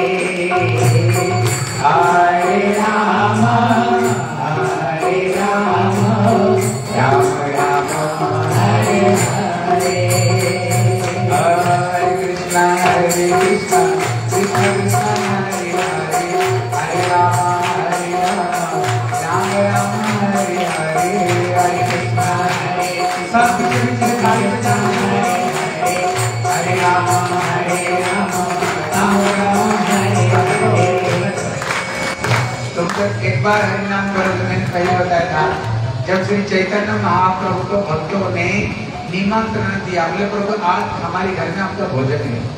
भगवान बोले, देखो, मैं सबको घर में भोजन नहीं करता। बोले, प्रभु, आप किसको घर में भोजन करते हो? बोले, जो लखपति बनेगा। आज से साढ़े पाँच साल पहले लखपति का मतलब है जिसको घर में एक लाख स्वर्ण का मोहर। एक लाख स्वर्ण मोहर हो वही लखपति समय एक तो सोने की मोहर होता था। भक्त लोगों ने बोले प्रभु हमारे घर में हज़ार रुपया दिए हज़ार रुपया की बात छोड़ दो घर में सौ रुपया सौ रुपया मतलब क्या? जिसको सोने का सौ स्वर्ण मोहर हो। क्या हमारे घर में भजन नहीं करोगे? फिर भगवान क्या करोगे फिर भक्तों को बैठा है। बोले जानते हो असली लखपति कौन? बोले कौन? बोले रोज आना जो एक लाख ठाकुर जी की नाम जप करते हैं। ठाकुर जी की नाम जप करते वही असली लखपति है। इसलिए मीरा कहती हैं, ले लो रे कोई राम का प्यारा, आवाज़ लगा गली गली। राम नाम के हीरेपति मैं विक्राम गली गली। और जिन जितने यह मोती लूटे, वो सब माला माल हुए और माया के जो बने पुजारी को आखिर कंगाल हुए आखिर वो कंगाल हुए इसलिए आते समय देखना बच्चे का हाथ कैसे रहता है, रहता नहीं? बचाते समय कैसे रहता है? मुट्ठी बांधी आया लेकर तुमने हाथ पसारी जाओ। लेकिन साथ में किया जाएगा? जितने तुमने भगवान की भजन हरिनाम किए हो, केवल उतना ही जाएगा। यहाँ से एक सुई धागा भी साथ में नहीं जाएगी। पत्नी जाएगी, रो रो कर दरवाज़ा तक जाएगी, उसका नहीं जाएगी। परिवार जाएँगे तो शमशान तक। वहीं पर खोपड़ में घी भरकर डंडे मारकर तोड़ करके जला करके वापस चले आएगी उसका आगे तुम्हारी कुछ भी काम नहीं चलेगी। इसलिए भागवत में बताए, मरने का बात है ना? जब महाराज को सामने खड़े होना पड़ता जब महाराज को प्रश्न करते हैं, बोले जब जो काम के लिए तुमको ये मानव शरीर दिया था, वो कितना किया है? इसलिए मानव शरीर मिला। बोले, आए थे हरि भजन को फ़ोटो न लगे कपास गोस्वामी जी कहते हैं हम पहले सुन रहे थे ना मातृ गर्भ में बच्चा आने पर, भगवान को पुकारता प्रभु नगर से निकालो। बोले, क्या करोगे? बोले, उठते बैठते तेरे नाम ही लेके तेरे भजन करेंगे। बोले, कष्ट पा करके बोल रहे हो तो जन्म देगा बोलोगे नहीं? बोले, एकदम नहीं भूलूँगा ठाकुर जी। बोले, भूलोगे ना? बोले, साधु संत रूप में फिर आऊँगा बीच में याद दिलाऊँगा, कितना भजन कर रहे हो? कितने माला जप कर रहे हो? कितना टीवी देख रहे हो? और बेटी सांस होगी बात कर रहे हो? बोले, प्रभु, मैं तो दिन भर भजन करूँगा। इसलिए भागवत में बताए जब महाराज के सामने खड़े होना पड़ता है। वो नहीं बोलेंगे कितने बच्चे थे, कितने छोरी थी, कितने छोरे थे, कहाँ तुमने लंदन अमेरिका में शादी की, कितने मकान बनाए, वो नहीं पूछेंगे। बोले कि जो मानव शरीर जो काम के लिए देना वो कितना कितना तुमने हरि का नाम लिया, भजन कितना किया, वो एक ही प्रश्न करेंगे। इसलिए हमारे भारत में देखना, जब कोई व्यक्ति मर जाता है ना, जब चार व्यक्ति कंधे पर ले जाते क्या बोलते बोलते? यही बोलते हैं ना, राम नाम सत्य है, गोपाल नाम सत्य है, और सत्य बोलो करते है, सब कोई बात होता किसको कहते हैं? वो जो ऊपर लेटा हुआ है। बोले, भैया, जितने राम कृष्ण का नाम लिया, वही जा रहा है। इसके सिवाय तुमने जो कुछ दुनिया में इकट्ठे किए तुम झूठे में मिलाया एक सुई धागा भी तेरे साथ में नहीं जा रही है हैं? इसलिए देखो जैसे हरिनाम करोगे ना महाप्रभु बोले जो एक लाख हरिनाम करते हैं वो असली लखपति देखो मेरे तरफ़ में देखो लखपति कैसे बनोगे ध्यान से देखो। कुछ दिन पहले टीवी में आता था अमिताभ बच्चन का नाम सुने होंगे वो बोलता था कौन बनेगा करोड़पति। आता था ना? यहाँ पर ठाकुर जी कहते कौन बनेगा लखपति लखपत कैसे बनोगे जैसे ये माला है, हैं? माला में ये अकुल को इसमें टच नहीं करते हैं, क्योंकि ये गंधा अकुल है? ये सबसे पहले निकलता है ना, मैं तेरे को देख लूँगा। इसलिए बीच वाला अंकुल में रख करके, जैसे मेरे साथ में बोलो। बोले, हरे कृष्णा हरे कृष्णा कृष्णा कृष्णा, हरे हरे हरे राम राम राम हरे हरे बोल करके एक मोती सरकता है। दो बार बोलते दो मोती सरकती है।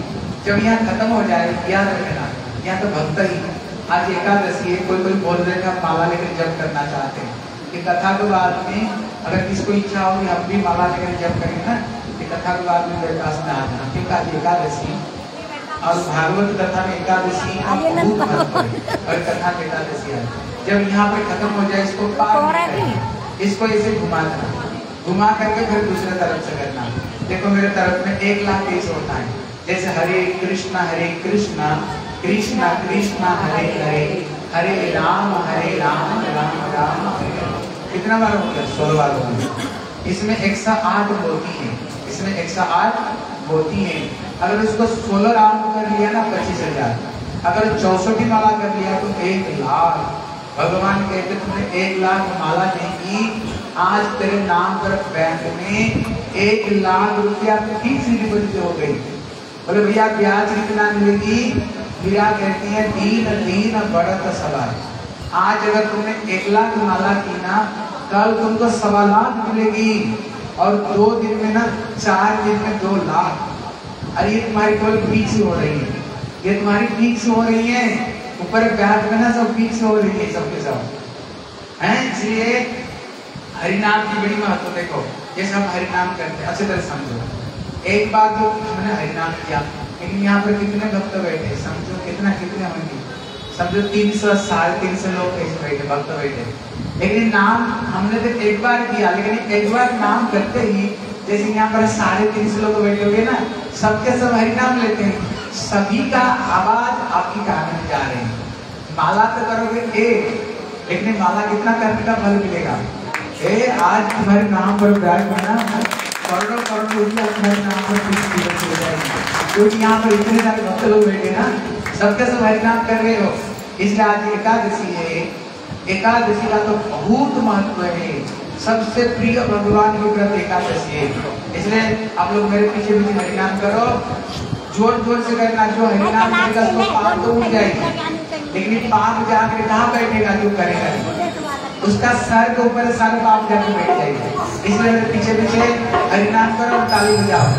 बोलो, हरे कृष्णा हरे कृष्णा कृष्णा कृष्णा, हरे हरे हरे राम हरे राम राम राम, हरे हरे हरे कृष्णा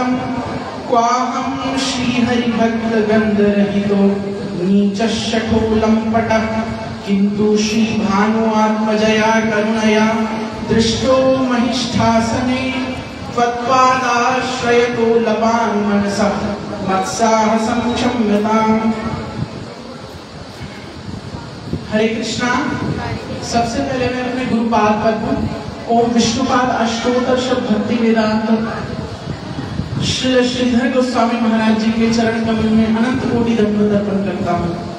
तत्पश्चात परम गुरुदेव नित्य लीला प्रविष्ट ओम विष्णुपाद अष्टोत्तर शब्द भक्ति वेदांत श्री नारायण गोस्वामी महाराज एवं भक्ति श्री रूप सिद्धांति गोस्वामी महाराज जी के चरणों में अनंत कोटि दंड अर्पण करता हूँ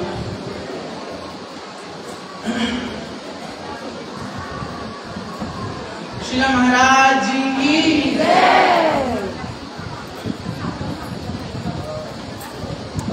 दामोदर महाराज की पद्मनाभ महाराज की है? यहाँ पर एक भाई एक चेयर लास्ट पर चेयर ले सकते हो पर मुझे चेयर है ना यहाँ पर कौन है? अरे कुर्सी चाहिए कुर्सी। आ रही आ रही आ रही। अरे सामने जो चेयर है ना? ले आ रहे हैं।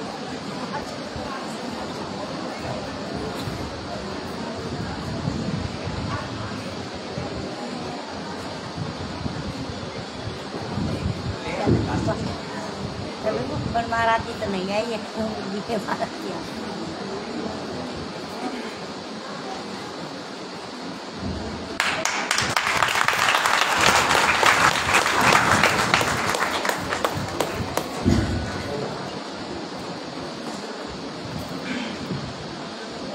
तत्पश्चात श्रीमद महाप्रभु सहित समस्त गौर परिकर जययुक्त हो उपस्थित समस्त वैष्णव वैष्णविया, आप सभी को मैं यथा योग्य दंड अर्पण करता हूँ मेरे गुरुदेव का आदेश है कि जो कथा के आगे का क्रम है पूतना लीला, उस पर मैं कुछ कहूँ इन्हीं की कृपा है। कंस ने जब उसको पता चला, जब योग माया ने आदेश कर दिया था कि तुझे मारने वाला नित्य पैदा हो गया, तब उसके बाद उसने एक मीटिंग बुलवाई। उसके बाद उसने, अभी गुरुदेव ने बताया, पूतना आई। तो कंस ने पूतना को आदेश दिया। कंसेन प्रेषित घोरा पूतना बाल घातनी पूतना ये बाल घातनी है। पूत शब्देन बालो वाचः ना शब्देन नतस्वतः। पूतना बाल घातनी जो कि जि, जिसके द्वारा शिशु मारे जाए पूतना वही है। तो जब पूतना आई ब्रज में आई जब ब्रज में आई पूतना तो बड़ा सुंदर श्रृंगार करके आई। इतना सुंदर श्रृंगार की सुखदेव जी ने वर्णन किया है। काम केश मंद रति सत्त मल्लिका मध्यमा भूषण कर्ण कुंडल मंडितानां वल्गुस्मृता पाक कुंडल मंडिता नाम अन्य प्रकार के सारे के सारे, आकाश में जितने भी सब षोडश कलाएँ हैं चंद्रमा की, उसने उसको बलात् वहाँ से खींच करके, मानो अपने कंठहार के रूप में प्रस्तुत कर लिया। सरस्वती के सप्त स्वरों को मानो उसने बलात् वहाँ से खींच करके अपने नूपुरों के रूप में सुशोभित कर लिया हो। गुलाब की जितनी गुलाबियाँ हैं, उसने उसको बलात् वहाँ से खींच करके, मानो अपने कपोलों के ऊपर सुशोभित कर लिया हो। दो बादलों के टकराने से जिस विद्युत संपात का उदय होता है, उसने मानो उसको बलात् वहाँ से खींच करके और अपनी साड़ी के रूप पर आबद्ध कर लिया हो। और रुंझुन रुंझुन करती हुई, कटी किंकरी करती हुई सिंधनी की मदमस्त चाल को उसने बलात् वहाँ से खींच करके और मानो अपनी कमर में सुशोभित कर लिया हो। कटी किंकरी कुरन करती हुई हाव भावों को प्रकट करती हुई मंद मंद मुस्कुराती हुई इतलाती हुई पूतना ब्रज में पधारी। जब पूतना ब्रज में पधारी तो पूरे के पूरे नंद, नंद जो नंदोत्सव हो रहा था वहाँ भयंकर भीड़ हो रही थी। तो जैसे ही इसको सभी गो गोपियों ने देखा तो वो सोचे कि दृष्टुम सताम पतिम रमा सब सोचने लगे कि साक्षात लक्ष्मी जी ही आई है। इसलिए सब इसको देख करके प्रणाम करने लगे। जब इसको प्रणाम करते तो ये अपने हाथ में कमल लिए हुए बस कमल मात्र एक इंगित झंकृत कर दी तो मानो वंदन वंदन का आशीर्वाद दे रही हो। उसके बाद चलती हुई इसको सभी ने रास्ता दे दिया और ये भीतर प्रवेश करी। जब ये भीतर प्रवेश करी तो देखा उसी कमरे में इसने प्रवेश किया जहाँ पे श्री नंदलाल विराजमान थे बाल में अनाघ्रातम भृंगै रणपहत सौगन्धमलिनै रनुत्पन्नं क्वचन यशोदाया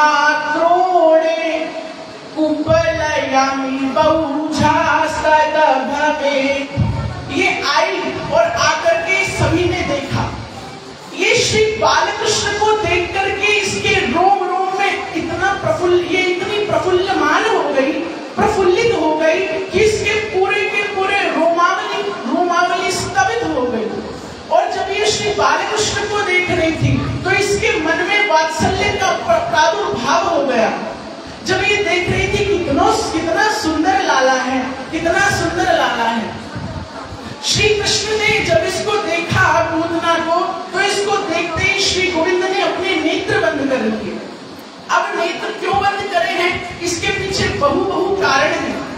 अलग अलग अलग अलग आचार्यों ने अलग अलग कारण बताए हैं। श्री वल्लभाचार्य जी का कारण है कि ये पूतना जो है वह अविद्या का प्रतीक है और भगवान ज्ञानोत्पुंज है। और अविद्या क्या है? गुरु, शुश्रू, जो गुरुदेव के द्वारा प्रदान की हुई विद्या है, उससे रहित है। रहितो विद्य, रहितो विद्यत मुखे विद्या से रहित, इसलिए अविद्या पूतना। अविद्या है। और भगवान ज्ञानोत्पुंज है।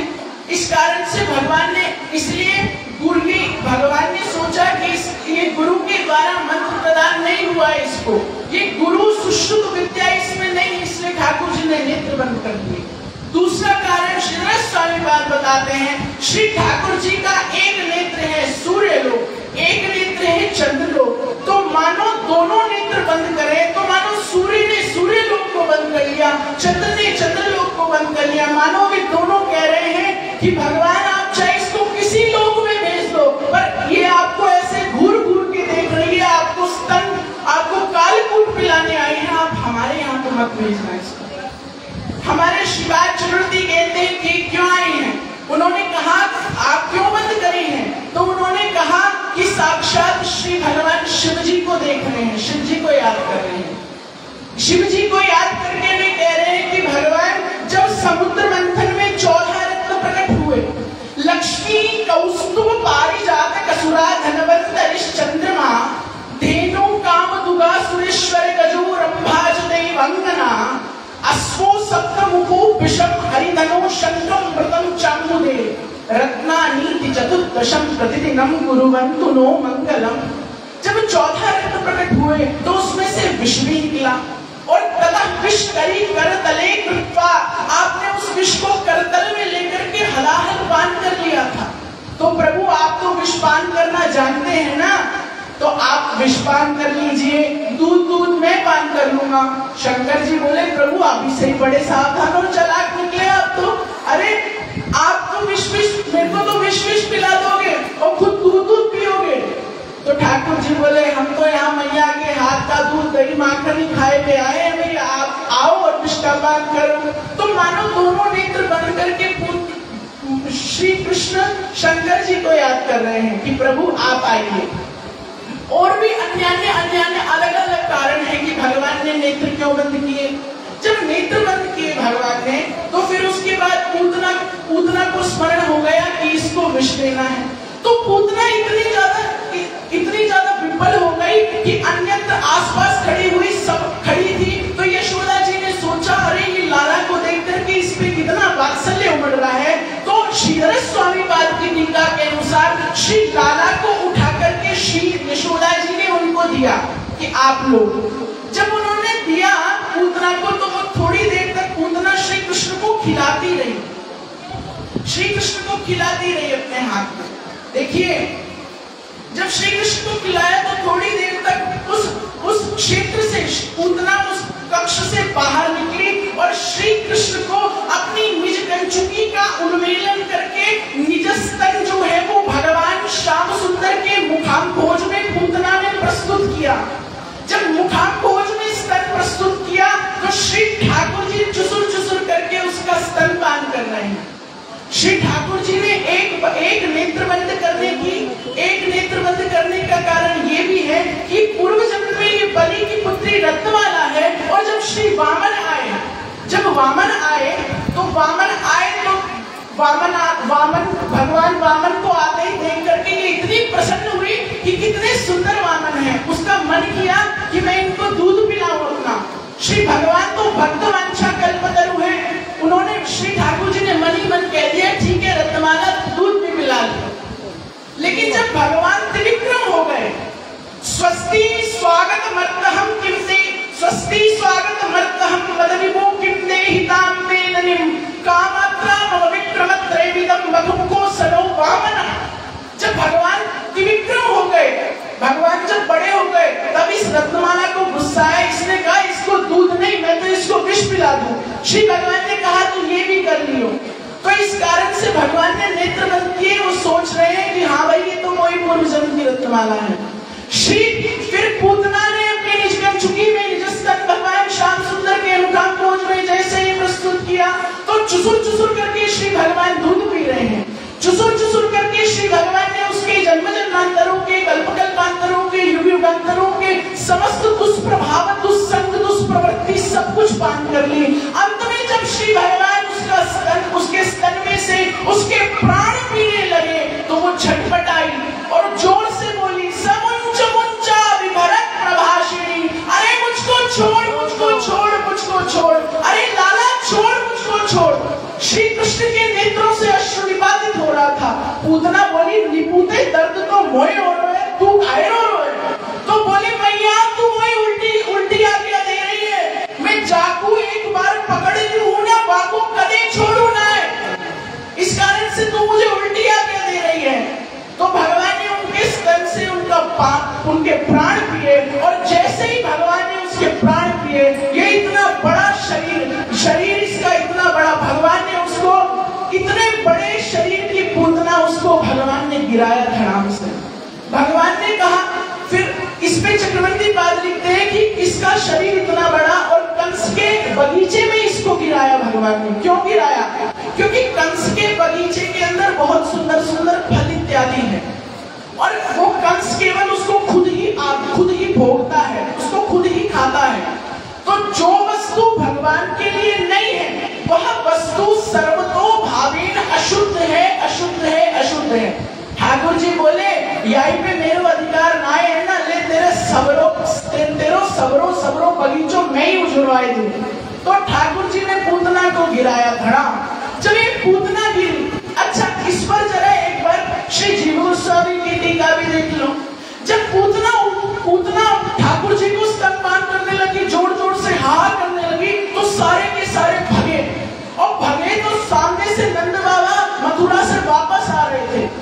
मथुरा से आते नंद बाबा ने देखा ये पूतना मेरे लाला को उठा करके ले जा रही है। तो बाबा ने क्या किया? बाबा ने अपनी छड़ी घुमाई और ज़ोर से फेंकी पूतना पे और पूतना वो जरा सी छड़ी है, उसके बालों में चली गई होगी। लेकिन फिर वो जैसे ही लगी, इतनी देर में ठाकुर जी ने उसके पूरे के पूरे प्राण पी लिए। तो वो धड़ाम से गिरी इसलिए सब बोले, बाबा, सोचे कि पूतना है तो मैं मारो। इस कारण से क्योंकि यहाँ पे ठाकुर जी को ऐश्वर्य को तिरोहित करना था ना, माधुर्य को प्रकट करना था। यही कारण है, जब गिरी पूतना तो ठाकुर जी उसके स्तन के ऊपर खेल रहे थे। अब सारे के सारे गोप गोपी भागे आए। और जब भागे आए तो देखा कि इतनी बड़ी पूतना के ऊपर श्री लाला विराजमान है। भैया, किसी के गले में विद्युत रात मणि का हार है, किसी के गले में स्फटिक मणि का हार है, किसी के कूद रहा है। और आज कूदना धन्य है, स्वयं नीलमणि बनकर के श्री गोविंद इसके कंठ में विराजमान है। आज रमा, उमा, ब्रह्माणी किलोत्मा मेनका देख करके, राई नोट लेकर के ठाकुर जी पे चिड़क रही है। आज इस कूदना की कैसी शोभा हो रही है। जब इसके ऊपर ठाकुर जी विराजमान किल्लोल कर रहे थे तो सारे के सारे इस ऊपर सीढ़ी लगा करके गोप लोग चढ़े। और श्री बालक कुंड को उठाया और नीचे लेकर के आए। इसके पूरे के पूरे शरीर को भागों में काट करके जलाया गया। और जब जलाया तो इसके शरीर में से इतनी सुंदर सुगंध प्रस्तुत हुई।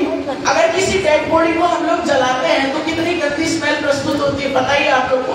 लेकिन इसके शरीर से इतनी सुंदर सुखदेव जी कहते हैं यज्ञ इसके शरीर से ऐसी सुगंध प्रस्तुत हुई। मानो इतना सुंदर, मानो कितना सुंदर वेद लक्षणा गाय के देसी घी से किए हुए हवन में जो सुगंध प्रस्तुत होती है, ऐसी सुगंध इसके शरीर से आ रही थी।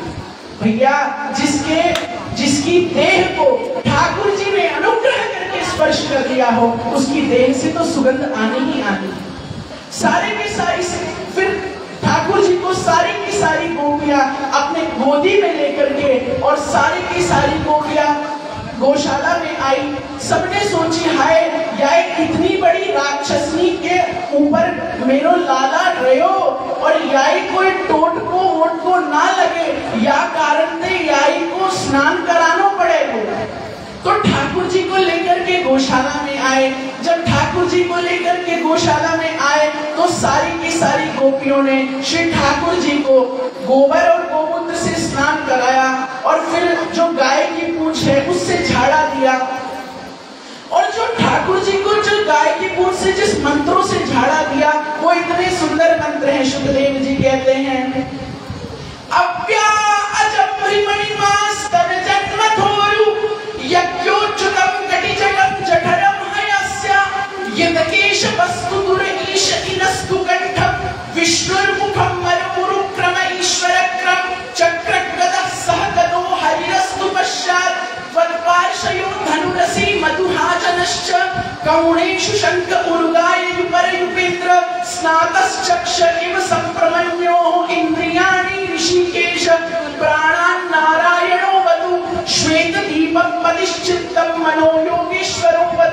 पृश्निकरवस्तु देवुत्यात्मानं भगवान् परः क्रीडन्तं पातु गोविन्द शयानं पातु माधव डाकिन्य कोटरा रेवती पूतना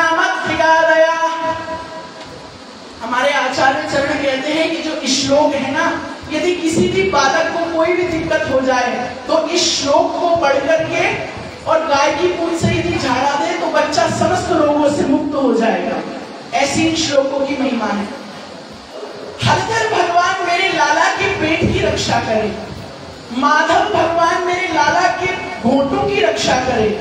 चक्रपाणी भगवान मेरे लाला की कमर की रक्षा करे। गदाधर भगवान मेरे लाला के मुख की रक्षा करे। देखो, ये सारे के सारे नाम तो ठाकुर जी के हैं, लेकिन ठाकुर जी के नाम की कैसी विशेषता? अरे भैया, किसी साधारण व्यक्ति को कोई संकट आ जाए तो भगवान का नाम खत्म कर देता है को लेकिन देखो देखो ठाकुर जी के नाम की कितनी महिमा आज ठाकुर जी पे संकट आए तो भगवान के नाम नाम का ही सहारा लेना पड़ा। भगवान के नाम का ही आश्रय लेना पड़ा।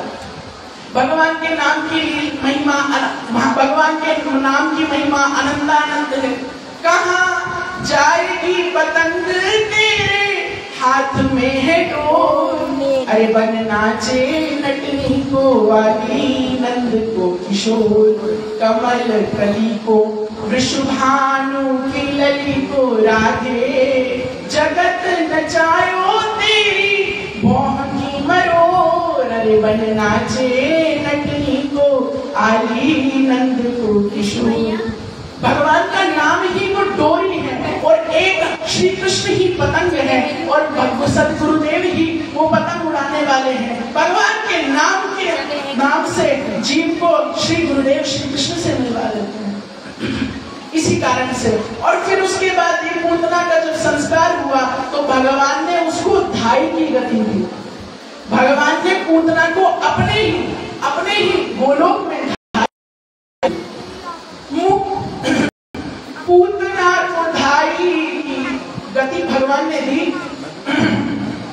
और क्या किया भगवान ने? खुले थाम के किवार खुले धाम के किवार उसके लिए धाम के किवार खोल दिए भगवान ने।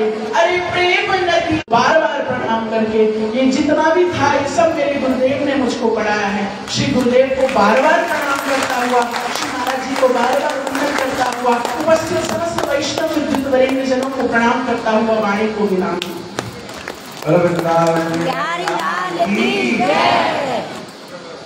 हाँ, प्रभु महाराज जी। बोले। हाँ देखो आज हम लोग का बड़ा भाग्य का दिन अच्छा दिन है एकादशी का दिन भागवत कथा में और हमारे श्री महाराज जी श्री पद्मनाभ महाराज जी प्रभु यहाँ पर कथा में पधारे हैं। इसलिए इसलिए इसलिए आप महाराज के लिए जोरदार ताली बजाओ। महाराज जी आई जो संस्था है इस संस्था के सेक्रेटरी श्री महाराज और ये महाराज देखने में तो साधारण लग रहे हैं। ये अमेरिका में पीएचडी कर रहे हैं। ये अमेरिका में पीएचडी कर लेते हैं। लेकिन जब हमारे बड़े गुरु जी भक्ति वेदांत नारायण गोस्वामी महाराज साधारण लगते हैं लेकिन महाराज जी वो साधारण नहीं इसलिए आपको कुछ अच्छी अच्छी बात बताएँगे, ये जीवन क्या है। ये जीवन पाकर हमें क्या करनी चाहिए? और जीवन का सार्थकता किसी में है महाराज जी, आपको सुंदर सुंदर कथा सुनाएँगे श्री पद्मनाभ महाराज। गुरवे गौरचन्द्राय, राधिकाय तदालये कृष्णाय कृष्णभक्ताय तद्भक्ताय नमो नमः। हरे कृष्ण सब हरे कृष्णा हरे कृष्णा।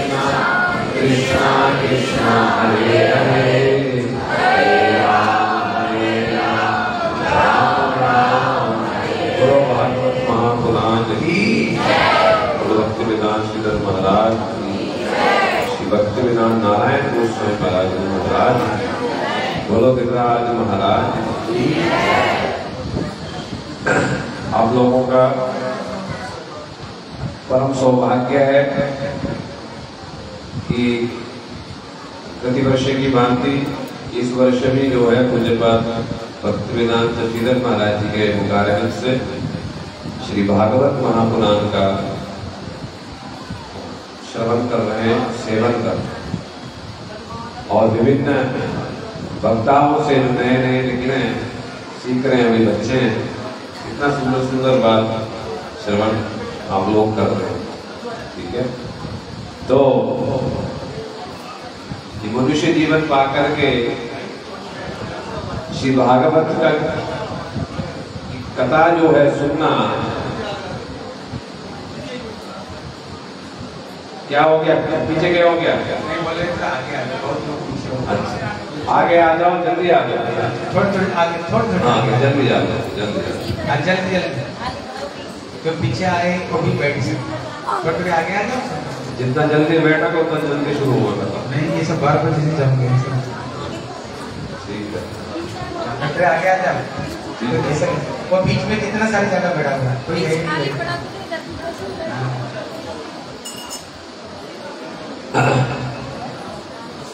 इधर से कुछ माता है तो बीच में आए हाँ बोलिए बैठ गए? बैठ गए खड़े हो गए ठीक है। तो आप लोगों का परम सौभाग्य है कि मानव जीवन प्राप्त करके श्री भागवत महापुराण को श्रवण कर रहे हैं। ठीक है? भागवत सुनने का फल क्या है? मानो यदि किसी ने भागवत सुना और मानो दस बार सुना तो क्या लक्षण दिखना चाहिए? क्या दिखाई देना चाहिए? मानो मैंने भागवत सुना। मानो मैंने दवाई ली मेरे अंदर रोग है और मैं दवाई लिया। तो दवाई लेने का कुछ को लक्षण दिखाई देगा कि नहीं? हाँ? कि दवाई लिया तो रोग का निवारण तो ज़रूर होगा ना? तो ठीक वैसे ही मैं यदि भागवत मैंने सुना तो उसका लक्षण तो दिखाई देना चाहिए कि नहीं देना चाहिए? तो लक्षण क्या है? क्या लक्षण है? यदि किसी ने भागवत सुनी है तो क्या दिखना चाहिए उसमें? तो भागवतम में ही बताया गया है यस्याम वै श्रूयमानायाम कृष्णे परम पुरुषे भक्तिरुत्पद्यते पुंस शोकमोहभयापः सबसे पहले भागवत यदि किसी ने सुना यश्याम भाई श्रूयमान आया एक तो है बैठ करके बैठ जाना। ध्यान देना बात एक तो है बैठ जाना। किस लिए बैठे हैं? घड़ी की तरफ़ देख रहे हैं। कब खत्म होगा और कब? ये तो आप सब जानते हैं। एक तो, तो इसको बोलते बैठना। सुनना नहीं हुआ। अच्छा दूसरा है सुन रहे हैं। किंतु बात भीतर नहीं जा रहा है। चलो कह रहे हैं, कहने दो। तीसरा है, वो क्या है, वो बड़ी श्रद्धा के साथ पहुँचता है पहले ही। और श्रद्धा के साथ वक्ता को प्रणाम करता है, श्रोता को प्रणाम करता है उस स्थान को प्रणाम करता है, भागवत को प्रणाम करता, प्रार्थना करता है कुछ तो मैं भागवत सुनूं अपने जीवन को मैं सफल बनाऊँ। ये है श्रूयमाना श्रोता, इसे कहते हैं श्रोता। ये श्रोता बहुत कम मिलते हैं, ज़्यादा नहीं मिलेंगे ये श्रोता। तो किंतु वैसे यदि कोई श्रोता बनता है और बड़ी श्रद्धा के साथ श्रूयमान आया बड़ी श्रद्धा के साथ, विश्वास के साथ कोई यदि इस भागवत को सुनता है तो लक्षण क्या दिखाई देना चाहिए? कृष्णे परम पुरुषे भक्ति उत्पत्त्यते सबसे पहला लक्षण ये दिखाई देगा कि उसके भीतर कृष्ण के प्रति दृढ़ विश्वास जग गया।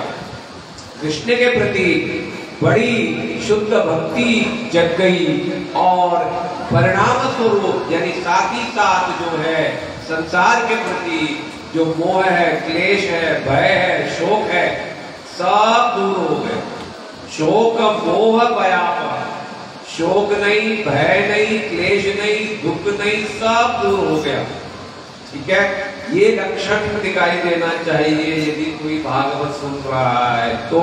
विशेष करके गले में कट्टी होनी चाहिए, दूसरे तिलक होनी चाहिए और हरिनाम होनी चाहिए। ये तीन चीज़ ज़रूर होनी चाहिए। जैसे हम विदेश जाना चाहते हैं ना पासपोर्ट वीज़ा और टिकट होनी चाहिए। कितना दिन से कथा में आए, कथा में बैठे, सुने, चले गए गले में कंठी नहीं तिलक नहीं माला नहीं मतलब वो आए इधर सुने उधर इधर निकाल कर चले गए। यहाँ पल्लू झाड़ कर चले गए।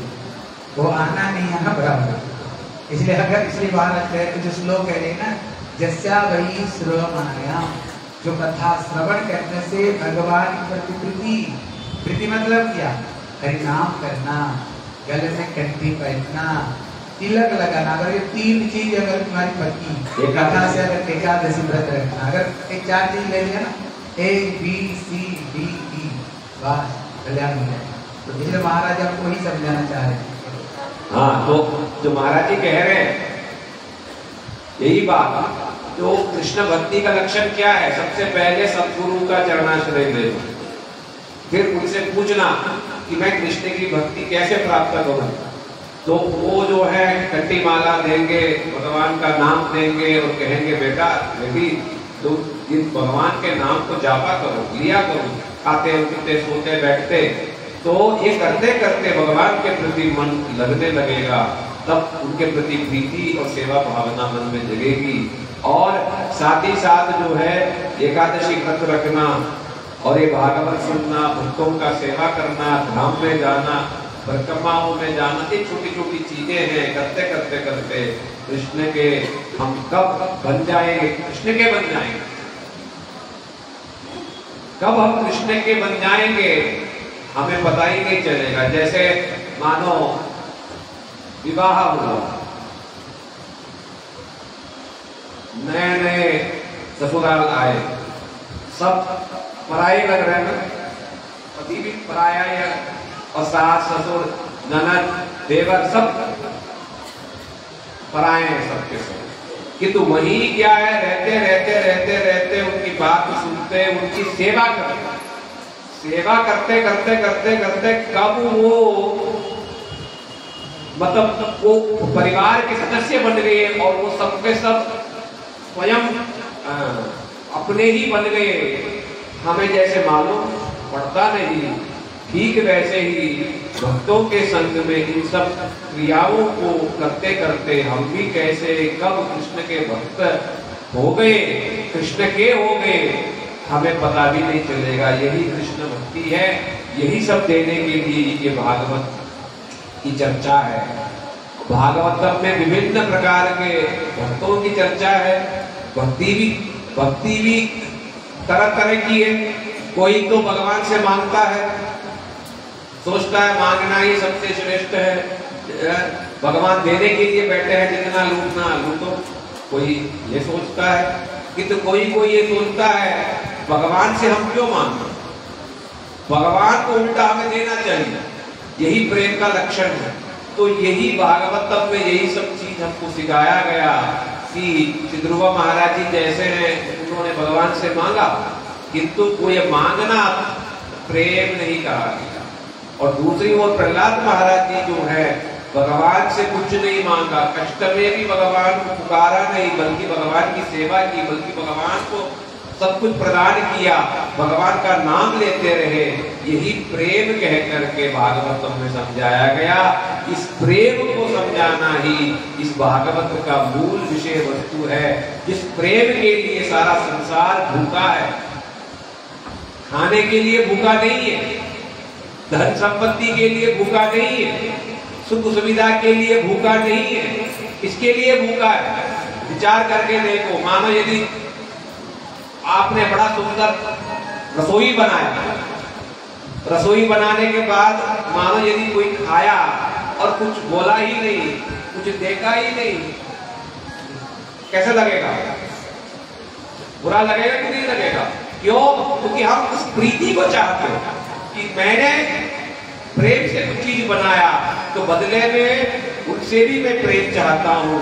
तो इसलिए जो है, हम सब खाने पीने सुख सुविधा के लिए भूखे नहीं है, हम सब प्रेम के भूखे हैं। यहाँ तक भी पशु भी, यदि पशु भी है, कुत्ता भी है, आप थोड़ा सा पुचकारोगे थोड़ा सा प्रेम दोगे, वो भी वो आपके पीछे पीछे हिलाते हुए वो आपके पीछे पहुँच जाए। तो तो इसलिए सारा संसार जो है, प्रेम का भूखा है, प्रेम चाहता है और इस भागवतम में यही शिक्षा दी जाई है, केवल प्रयोजनम। केवलया भावा कैवल्य कैवल्य प्रयोजनम। प्रेम ही जीव मात्र का स्वभाव है, प्रेम ही जीव का धर्म है। इस प्रेम धर्म को समझाना ही इस भागवत का मूल प्रसंग है, मूल विषय वस्तु है। और ये दिखाया गया कि इसमें कितना प्रेम है, इसमें कितना समर्पण है किसमें किसने कितना श्री कृष्ण के लिए सेवा किया, प्रेम किया। यही सब चीज़ श्री भागवतम में समझाया। और इतना सुन के हमारे भीतर भी वैसा प्रेम नहीं हुआ। भीतर ये प्रेरणा नहीं जगी कि मुझे भी प्रहलाद महाराज जी जैसा बनना है, मुझे भी पांडवों जैसे बनना है, मुझे भी ब्रजवासियों जैसे बनने हैं, ऐसी मन में प्रेरणा नहीं जगी। फिर क्या भागवत सुनना हुआ? फिर क्या बैठ करके श्रवण करना हुआ? फिर क्या साधु साधुओं के समागम करना हुआ? फिर ये ठीक से साधुओं का समागम नहीं माना गया। क्योंकि भागवत का मूल विषय ही प्रेम है इस प्रेम को समझाना ही इस भागवत का प्रधान मुख्य विषय है। प्रारंभ में भी।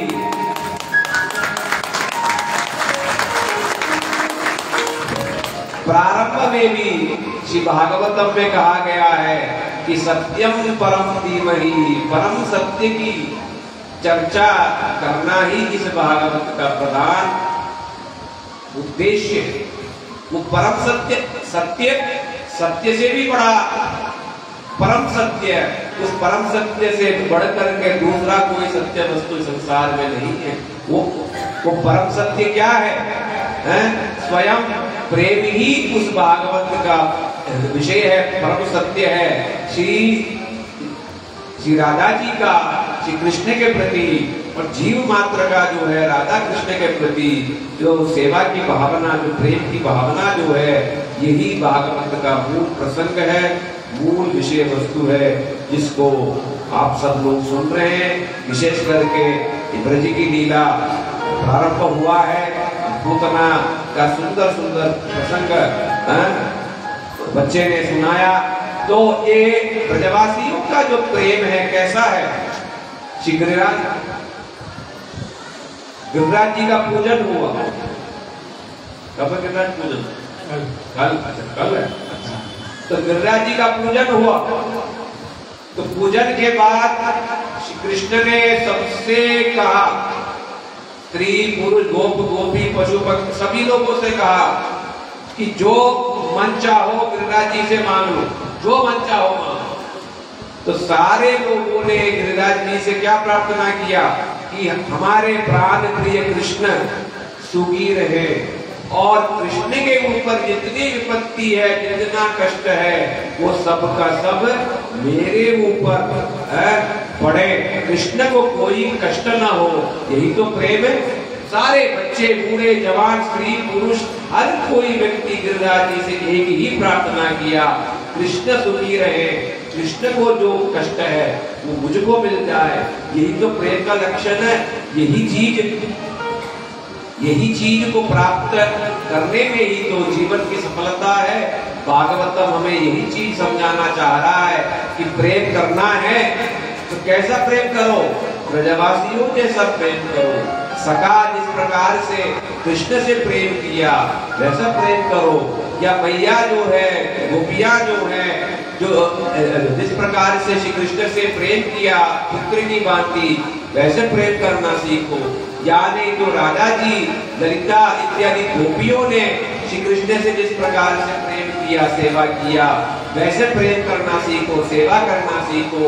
यही मानव जीवन की मनुष्य जीव मात्र का यही लक्ष्य है। इसी लक्ष्य को समझाना ही। चैतन्य महाप्रभु ने भी 500 साल पहले श्री कृष्ण ही चैतन्य महाप्रभु जी के रूप में पधारे और वो जानते थे इस कलिकाल के जीव में शक्ति नहीं है, समर्थ नहीं है। दो घंटा बैठ नहीं सकता है, कथा सुन नहीं सकता है, दूसरे की बात पचा नहीं सकता है। इसलिए महाप्रभु ने कहा, कोई बात नहीं है, आप इस कलिकाल में बड़े सहज रूप से नाचो, गाओ, कीर्तन करो खूब नाचो, खूब गाओ, खूब संकीर्तन करो और यहाँ तक भर पेट प्रसाद पाओ। प्रसाद पाओ और नाचो और गाओ, महामंत्र करो, यही कलिकाल का मंत्र है, यही कलिकाल की दवाई है। जो भी व्यक्ति इस दवाई को लेकर के पालन करेगा, निश्चित रूप से जो है वो इस प्रेम धर्म को समझ पाएगा, भागवत के इन सुंदर सुंदर शिक्षाओं को ले पाएगा। तो मैंने तो संक्षेप में समझाया, भागवत का लक्ष्य क्या है, भागवत की शिक्षा क्या है गुरु महाराज जी और चैतन्य महाप्रभु जी ने हम लोगों को क्या शिक्षा दिया आप लोगों से निवेदन है, विचार करें और भागवत के इन निगूढ़ तत्वों को समझें, अपने जीवन को सफल बनाएँ, भागवत की गहराई में जाएँ और इस प्रेम क्या चीज़ है, इस प्रेम को समझने का प्रयास करें। इसी में मनुष्य जीवन की सार्थकता बोलो सचिनंदन गौर हरि भागवत महापुराण की। गुरु जी महाराज की।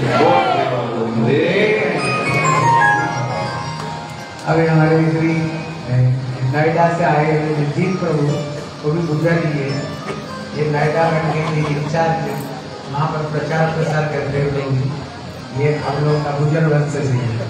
ये आपका भी अच्छी अच्छी बात है। ओम ज्ञानतिमिरान्धस्य ज्ञानञ्जनशलाकया चक्षुरुन्मिलितं येन तस्मै श्रीगुरुवे नमः। वाञ्छाकल्पतरुभ्यस्य कृपा सिन्धुभ्यैव च पतितानां पावनेभ्यो वैष्णवेभ्यो नमो नमः। जय श्री कृष्ण चैतन्य प्रभु नित्यानंद श्री अद्वैत गदाधर शिव सदि गौर भक्त वृंदा बोलो, हरे कृष्णा हरे कृष्णा कृष्णा कृष्णा, हरे हरे। हरे राम हरे राम राम राम, हरे हरे। मैं सबसे पहले अपने गुरुपाद पर नितलीला विष्णु विष्णुपाद परमहंस परिव्राजकाचार्य दंडी स्वामी श्री श्रीमद भक्ति वेदांत श्री नारायण गोस्वामी महाराज जी के अभ्य चरण कमलों में कोटि कोटि प्रणाम करता हूँ और उनकी अहेतु कृपा की प्रार्थना करता हूँ। उसके बाद समस्त रूपानु गुरुवर के चरण कमलों का स्मरण करता हूँ और उनकी अहेतु कृपा की प्रार्थना करता हूँ। उसके बाद हमारे मंच पे आसे अतः व्यास पूज्य पाद श्री भक्ति वेदांत श्रीधर महाराज जी के चरणों में कोटि कोटि प्रणाम करता हूँ। महाराज जी की कृपा की प्रार्थना करता हूँ। श्रीमद भागवत जी के चरण कमलों का आश्रय लेते हुए मुझे बात भक्ति वेदांत पदना महाराज जी, ब्रह्मचारी, हमारे दामोदर पुरी डोरीलाल की मथुरा से आए हमारे बड़े सीनियर गुरु भाई है। माताएँ लोग, प्रभु लोग, दीदी लोग सभी के चरणों में यथा योग्य दंड प्रणाम करता हूँ। आज बहुत ही पवित्र तिथि है, जैसे कि बताया, एकादशी। जो एकादशी है, इसका नाम है माधव तिथि, या हरिवासन तिथि आज की जो तिथि है, वो भगवान ही तिथि बने हुए जैसे सोमवार, मंगल, बुध, बृहस्पति, शुक्र, शनिवार होता है तो भगवान का भी क्या होता है? केशव, धृता, वामन रूपा, केशव, धृता, नरहरि रूपा, केशव, धृता हलदर रूपा। कभी भगवान राम के रूप में आते हैं, कभी भगवान कृष्ण के रूप में आते हैं। कभी नरसिंह भगवान के रूप में आवे, पूर्व अवतार लेते हैं मत्स्य अवतार लेते हैं और कभी कभी हम भागवत ही भगवान का रूप है। तमादि देवम करुणा निधानम तमाल वर्णम, सुहिता अवतारम। अपार संसार समुद्र सेतु भजा में भागवत स्वरूपम। ये जो श्रीमद भागवत है, ये भी भगवान का ही रूप है। ऐसे ही भगवान एकादशी जो है एकादशी भी भगवान का ही तिथि, भगवान ही तिथि बने। जैसे द्रौपदी की साड़ी की रक्षा करने के लिए भगवान साड़ी बन गए। ऐसे भगवान आज का जो तिथि है, वो साधारण नहीं है। आज जो तिथि है, वो भगवान का भगवान तिथि बने हुए अगर आज के दिन जो कथा श्रवण करेगा, भगवान का नाम से कीर्तन करेगा, साधुओं में दर्शन करेगा कोटि कोटि गुना फल आज ज़्यादा मिलेगा। इसलिए रोज तो कथा होती है पर आज की कथा में बैठने का विशेष फल है, क्योंकि भगवान ये जो तिथि है, साक्षात भगवान है। और उसमें ही आज राधा जी का जन्म भी होने वाला है पूर्ण स्वरूप शक्ति। तो हम लोग श्रीमद भागवत कथा सुन रहे हैं, पाँच दिनों से लगातार, और और भी महाराज बड़ा परिश्रम करके गढ़ी गाँव में भागवत की गंगा बह रही है, दिन में प्रोग्राम दोपहर प्रोग्राम है, शाम को प्रोग्राम अभी रात को प्रोग्राम होगा। जहाँ संत जाते हैं, पूरी ऐसे ही, पूरी गंगा ही, कथा की गंगा, भागवत की गंगा वहाँ बहती है। तो ऐसे ही आज हम लोग कथा श्रवण कर रहे हैं। इस कथा का फल क्या है? महाराज जी ने भी बता रहे थे, पहली बात तो आप लोग यहाँ पर आए, बैठे यहाँ पर आए हैं, बहुत सौभाग्यशाली। है कथा में यहाँ गेट में एंट्री जो फ़ीस है ना, वो भी कोटि कोटि जन्मों की स्वीकृति होती है ना, वो इस गेट में एंट्री कर पाएगा। ये तो बहुत सारे लोग कह रहे हैं आवाज़ तो आ रही निकलते जा रहे आगे। तो कहते हैं हाँ कथा तो हो। रही है पता ऐसे करके निकल रहे हैं। परंतु कोई प्रणाम करने के लिए कथा में आ रहा है, और कोई तीन तीन घंटा बैठ रहा है कथा में, और कोई प्रसाद पाते भी जा रहा है तो कोई बहुत सौभाग्य की बात है कथा में बैठना। समझ में आए या ना आए, बैठना भी बहुत बड़ी स्फूर्ति है। जिसका बहुत पुण्य महाराज जी बताते हैं ना बहुत जन्मों का पुण्य जब एकत्रित होता है, जब कोई कथा में बैठ पाता है, और उससे भी ज़्यादा जब स्वीकृति होती है कथा को समझ पाता है उससे भी ज़्यादा कोई स्वीकृति होती है कथा को धारण कर पाता है। तो ये है ऐसे। तो आप लोग कम से कम बैठे हैं तो अपने आप को सौभाग्यशाली मानते तो कथा का जो फल है, बहुत प्रकार के फल है इसमें। अभी महाराज जी ने एक दृष्टिकोण से बताया श्रीमद भागवत ने बताया कथा सुनने का क्या फल है? नष्ट प्रायसु भद्रेशु नित्य भागवत से भगवत उत्तम श्लोक है भक्ति भक्ति नष्ट थी कह रहे कि ये जो भागवत कथा है, ये नित्य प्रतिदिन इसको स्मरण करना चाहिए। रोज सुबह दोपहर शाम जैसे खाना डाइट होती है ना ब्रेकफास्ट लंच और डिनर ऐसे ही आत्मा का प्राण भगवान की कथा है। भक्ति सिद्धांत गोपाल जी कहते हैं, हमें एक दिन क्या एक घंटे भी बिना कथा के रहना नहीं चाहिए। परंतु हम लोग इतने सौभाग्यशाली नहीं है। तो सात दिन सुन रहे हैं, सात दिन सुनने का मतलब कथा की महिमा, कथा का चस्का। भगवान, भागवत ग्रंथ है, ये जो ग्रंथ बंद पड़ा है, सबके घरों में भी होगा। इसमें क्या रत्न छिपे हुए हैं और भागवत हमको क्या दे सकती है, ये हमें पता नहीं है है ना? ये जो हमें पता लगेगा, फिर हम लोग जाके इसको समझेंगे। जैसे कि एक छोटा सा बच्चा है और वो कंचा लेते कंचा कंचा कहते हैं कंचा और डायमंड का छोटा सा गोल गोल कंचा है, बच्चा खेल रहा है उसको। और वो कंचा कितने का है? एक करोड़ रुपए उसकी कीमत है, एक करोड़। तो बच्चा कहाँ खेल रहा है? पाँच साल, सात साल का बच्चा उसको बाहर ग्राउंड में जाके बच्चों के साथ खेल रहा है तो उसको जब पता लगा घर में आए उसको कीमत ही नहीं पता उसकी? जब वो बच्चा घर आता है तो उसके घर में ज्वेलरी आता है सुनार तो इस दृष्टि बड़ी बच्चा कच्चे से खेल रहा है। तो उन्होंने कहा, भैया, ये कच्चा मेरे को दे दो। तो मैं इसके तुम्हें हज़ार रुपए दूँगा। मैं इसका हज़ार रुपए दूँगा। अगर हज़ार रुपए इस कच्चे का तो उसके माता पिता ने बच्चे को उठा दिया। अभी तो पड़ा था नीचे। अब हाथ में ले लिया। तो उन्होंने कहा, नहीं, देखा तो हज़ार रुपए का है तो बच्चे को ऐसे खेलने के लिए दे दिया। जब धीरे धीरे क्या हुआ सुनार ने समझा, एक करोड़ का है, शायद मेरे को देंगे नहीं। तो उन्होंने कहा, मैं इसका दस हज़ार रुपए दूँगा। दस हज़ार रुपए दूँगा। तब उसने क्या किया, पहले तो नीचे पड़ा था, हाथ में ले लिया जेब में रख लिया। जेब में रख लिया दस हज़ार रुपए का तो उसने कहा तो बड़े चतुर है, दे नहीं तो उन्होंने कहा कीमत कितनी इसकी एक करोड़ रुपए है। तो इसने कहा, भैया, मेरे को इसको दे दो, मैं इसका एक लाख रुपया दूँगा। तो उसने क्या किया? अंदर कमरे में रख दिया अंदर कमरे में, पहले हाथ में लिया, फिर जेब में, अब अंदर कमरे में रख दिया तब तो उन्होंने सुनाने कहा भैया मेरे को इस दे दो, मैं इसको दस लाख रुपए दूँगा। तब उसने क्या किया? अंदर जो रख के आया उसमें ताला लगा के आ गया।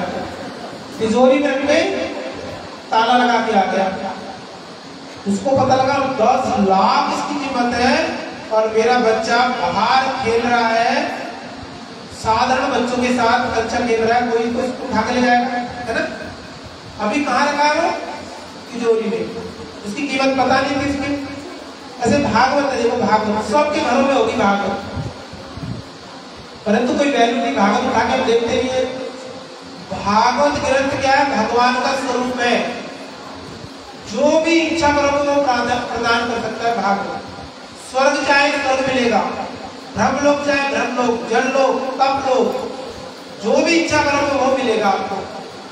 यहाँ तक कि भगवान भी मिल जाएँगे और भगवान का प्रेम भी मिल जाएगा। भागवत ऐसा ग्रंथ है। दुनिया के समस्त प्रकार की समस्याएँ खत्म हो जाएँगी। जितने भी दुख है, वो दूर हो जाएँगे भागवत से ये पता है कि हम कौन बताएँगे? ये संत लोग बताए इसलिए बताने के लिए लोग आए हैं कि भागवत जो है, और भगवान का नाम है, उसकी भी कोई कीमत नहीं है, परंतु हमें करने की ज़रूरत नहीं है। कीमत नहीं पता हमें इसको बस भागवत की महिमा को सुनाने के लिए आप आए हैं। और भागवत कैसे सुनना सुनिए? नष्ट प्राय भद्रेशु नित्यम भागवत सेवया। भागवत दो प्रकार के होते हैं ग्रंथ भागवत, एक भक्त भागवत। ग्रंथ भागवत दयालु तो है, इसमें तत्व ज्ञान है, वैराग्य की बातें हैं, भगवान की महिमा कीर्तन है। परंतु भक्त भागवत क्या है? बहुत दयालु है। जब तक ऐसे रसिक संत नहीं आएँगे, हमें भागवत की महिमा बताने नहीं आएँगे, तब तक हम हमारे अंदर ज्ञान, वैराग्य, उदय नहीं हो सकता। तो ऐसा कोई आचरणशील संत आए जो भागवत को वास्तव में ही पाठ भी करता है, अपने जीवन में भी अपनाता है, आचरण भी करता है और आप लोगों को भी जीवन बदल सकता है। ऐसा कोई भागवत आए तब तो हमारा बहुत सौभाग्य है। और नहीं तो सात दिन का कोर्स है। आप भी प्रैक्टिस करके सात दिन में, पहले दिन क्या बोलना है? भागवत की महिमा बोलनी है। दूसरे दिन क्या बोलना है? मंगलाचरण बोलना है। आशीर्वाद और वस्तु निर्देश बोलना है। तीसरे दिन क्या बोलना है? सर्व विसर्ग स्नान होती है कथा बोलनी है। चौथे दिन क्या बोलना है? देवभूति कपिल भगवान का संवाद है। गुरु महाराज कैलाश महाराज का चरित्र है, है? अम्बरीश महाराज का चरित्र है भगवान राम की कथा है कृष्ण कथा है। फिर भगवान की बाल लीलाएँ हैं फिर गिरिराज पूजा है राधा जी का गिरिराज पूजा रास लीला फिर ग्यारह बारह का प्रैक्टिस करके आओ पढ़ लो। समझ जाओ कि नहीं। ये जो भागवत ग्रंथ है, ये गुरु परंपरा, एवं परंपरा प्राप्त एवं ये परंपरा से ही प्राप्त होता है। जिन्होंने गुरु वर्गों की सेवा की है, वो ही इसको पाठ कर सकते उनसे श्रवण करने से आपका जीवन परिवर्तन होगा। और इसी कितने वक्त आते स्वयं एकादशी नहीं करते हैं, एकादशी की महिमा बता रहे एकादशी की महिमा बताएँगे, स्वयं अन्न खाएँगे एकादशी के दिन, पालन हो जाएगा? नहीं। स्वयं नाम करते नहीं है, पर नाम का उपदेश देंगे। तो कभी भी परिवर्तन होने वाला नहीं है। अगर ऐसे भागवत में आचरणशील आए और परंपरा में आए तो तो उनका जीवन सफल हो जाता है। और क्या होगा? नष्ट प्राय जितने भी आपके अनर्थ हैं, काम, क्रोध, लोभ सब नष्ट हो जाते हैं। बताए भागवत में। रजस तमो काम लोभ दास्य चेत एतनावितम स्थिते सत्य प्रसिद्धि। क्या बोले? रजोगुण, तमोगुण और सत्वगुण जिनसे सारा जगत नाच रहा है, वो नष्ट हो जाता है। और क्या होगा? जीव शुद्ध सत्य में स्थित हो जाता है और उसको क्या होता है? विद्यंते, निवृत्ति चिंतनते सर्व संशया उसकी सारी गांठें काम की गांठें क्रोध की गांठें झूठा नाते, रिश्ते, बंधन जो हम मान के बैठ गए हैं। हैं? मेरा इतना मकान है, मेरे पत्नी है, मेरा ये है, मेरा ये। जो गांठे, झूठी गांठे विद्यंते हृदय ग्रंथि, चिंतनते सर्व संशया और जितने भी प्रकार के संशय हैं, वो सब नष्ट हो जाते हैं। और क्या होता है? विवस्य चाष्यक्रमणि एवात्मस्वरे। भगवत अनुभूति होने लगती है। भगवान का दर्शन प्राप्त हो जाता है। भगवान और क्या होता है? भक्ति योग। भक्ति योग हृदय में आ जाता है। तब भगवान का तत्व ज्ञान आ जाता है। संसार के प्रति वैराग्य उदय होता है। और नई नई अनुभूति प्रति पदम पूर्णामृत आस्वादन। हर पल नए नए आस्वादन आपको होना लगेगा। कैसे होगा? जब ऐसे शुद्ध भक्तों की आप सेवा करेंगे। अगर सेवा नहीं करेंगे, सुना जैसे महाराज जी बता रहे सुना और यहाँ से जाके निकाल दिया तो नहीं होगा। और महाराज जी चले जाएँगे तो ये भागवत लेना घर में, रोज एक श्लोक पढ़ना। अगर नहीं पढ़ सकते तो जो पढ़ता हो, उसमें घर में जाके बच्चा पढ़ा लिखा जो भी हो, बस सुनना। सुनने से श्रवणता कृष्ण पुण्य श्रवणता श्रवणता कृष्ण कथा पुण्य श्रवण कीर्तन बस कृष्ण कथा सुनने से ही क्या होगा? भगवान हृदय में आ जाते हैं। और समस्त प्रकार के समस्त प्रकार की क्या होती है? जितनी भी समस्याएँ जड़ से उखाड़ फेंक देते हैं और अपना प्रेम प्रदान करते हैं। बोलो श्रीमद भागवत महापुराण की गुरु महाराज की गौर प्रेमानंदे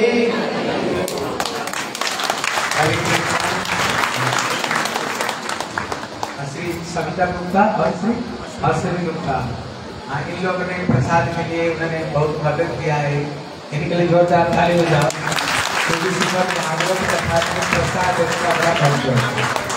इसलिए भगवान स्वयं कहते हैं, भागवत कथा में एक अन्न का दाना अगर किसने दान कर दिया ना, किसी जीवन में, घर में अन्न वस्त्र की कभी अभाव नहीं पड़ेगी। ठाकुर जी इनके ऊपर कृपा करें, भक्त प्रेम दे और अपना सेवा ठाकुर को दे और इनको सुख शांति प्रदान करें। माता जी आज इनका माला पहन लो खुद पहन लो।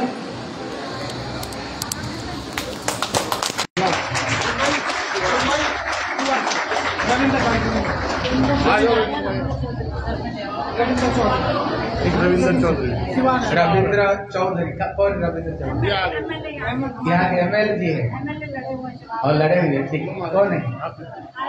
गुजरी आजा गुजर है? तो हमारे गुजर की जय जयकार ताली हो जाओ भैया, आप इधर आ जाओ, आप इधर आ जाओ। आप इधर आ जाओ। शिवा इधर आ।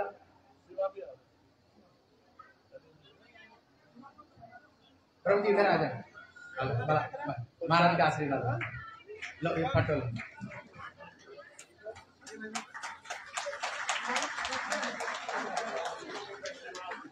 ये ये माला और कुछ माला उधर से ले आओ इधर आ इधर इधर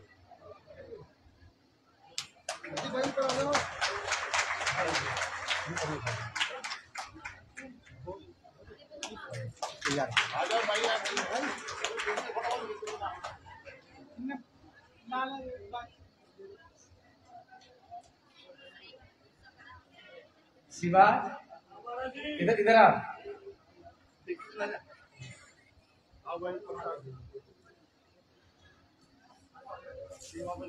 महाराज जी सब सब हाथ में थोड़ा सा दे दो तुम जो बोल रहा है ना तुम जो बोल रहा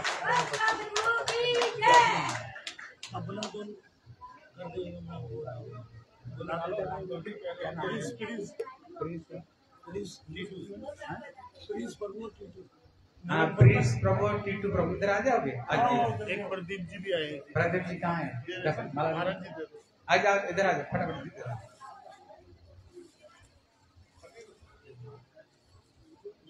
जल्दी जल्दी आ। प्रिंस कहाँ है प्रिंस?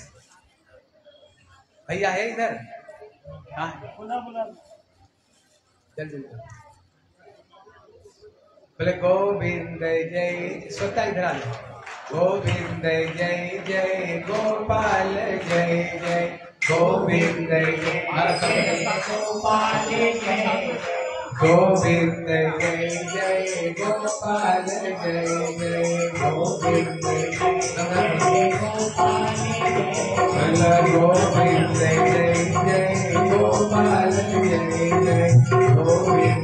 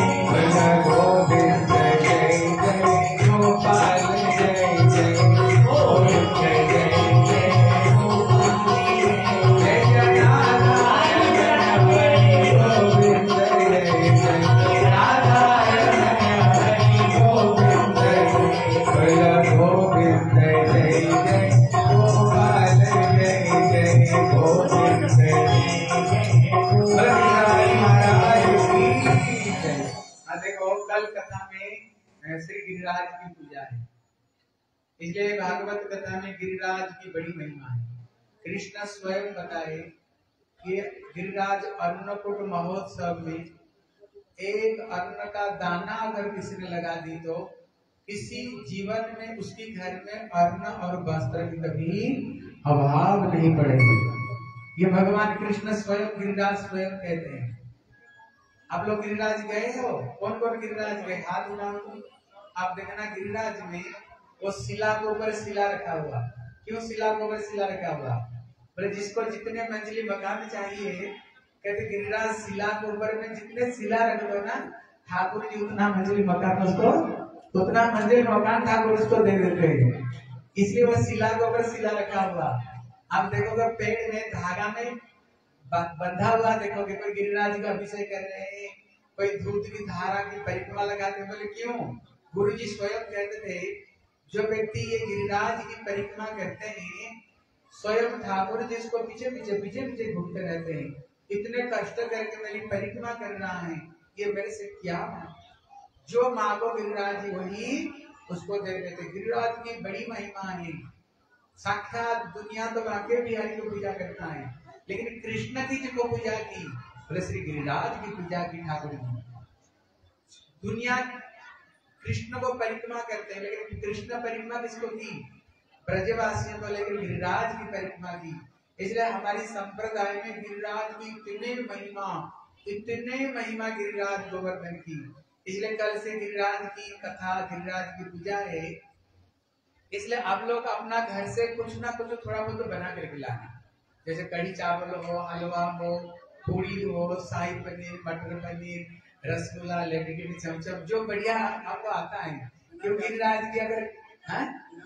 हाँ बिना प्याज, लहसुन के, हम सब भक्त लोग जब भक्त है इसलिए गिरिराज के लिए लाना, और कल बड़े धूमधाम से गिरिराज की पूजा करेंगे, और गिरिराज की हम परिक्रमा करेंगे गिरिराज को, और बड़े धूमधाम से पूजा करेंगे। बोले श्री गिरिराज महाराज की ज़ोर से बोलो। बोले श्री गिरिराज महाराज की बोले गिरिराज महाराज की ये तो हो गया दीपक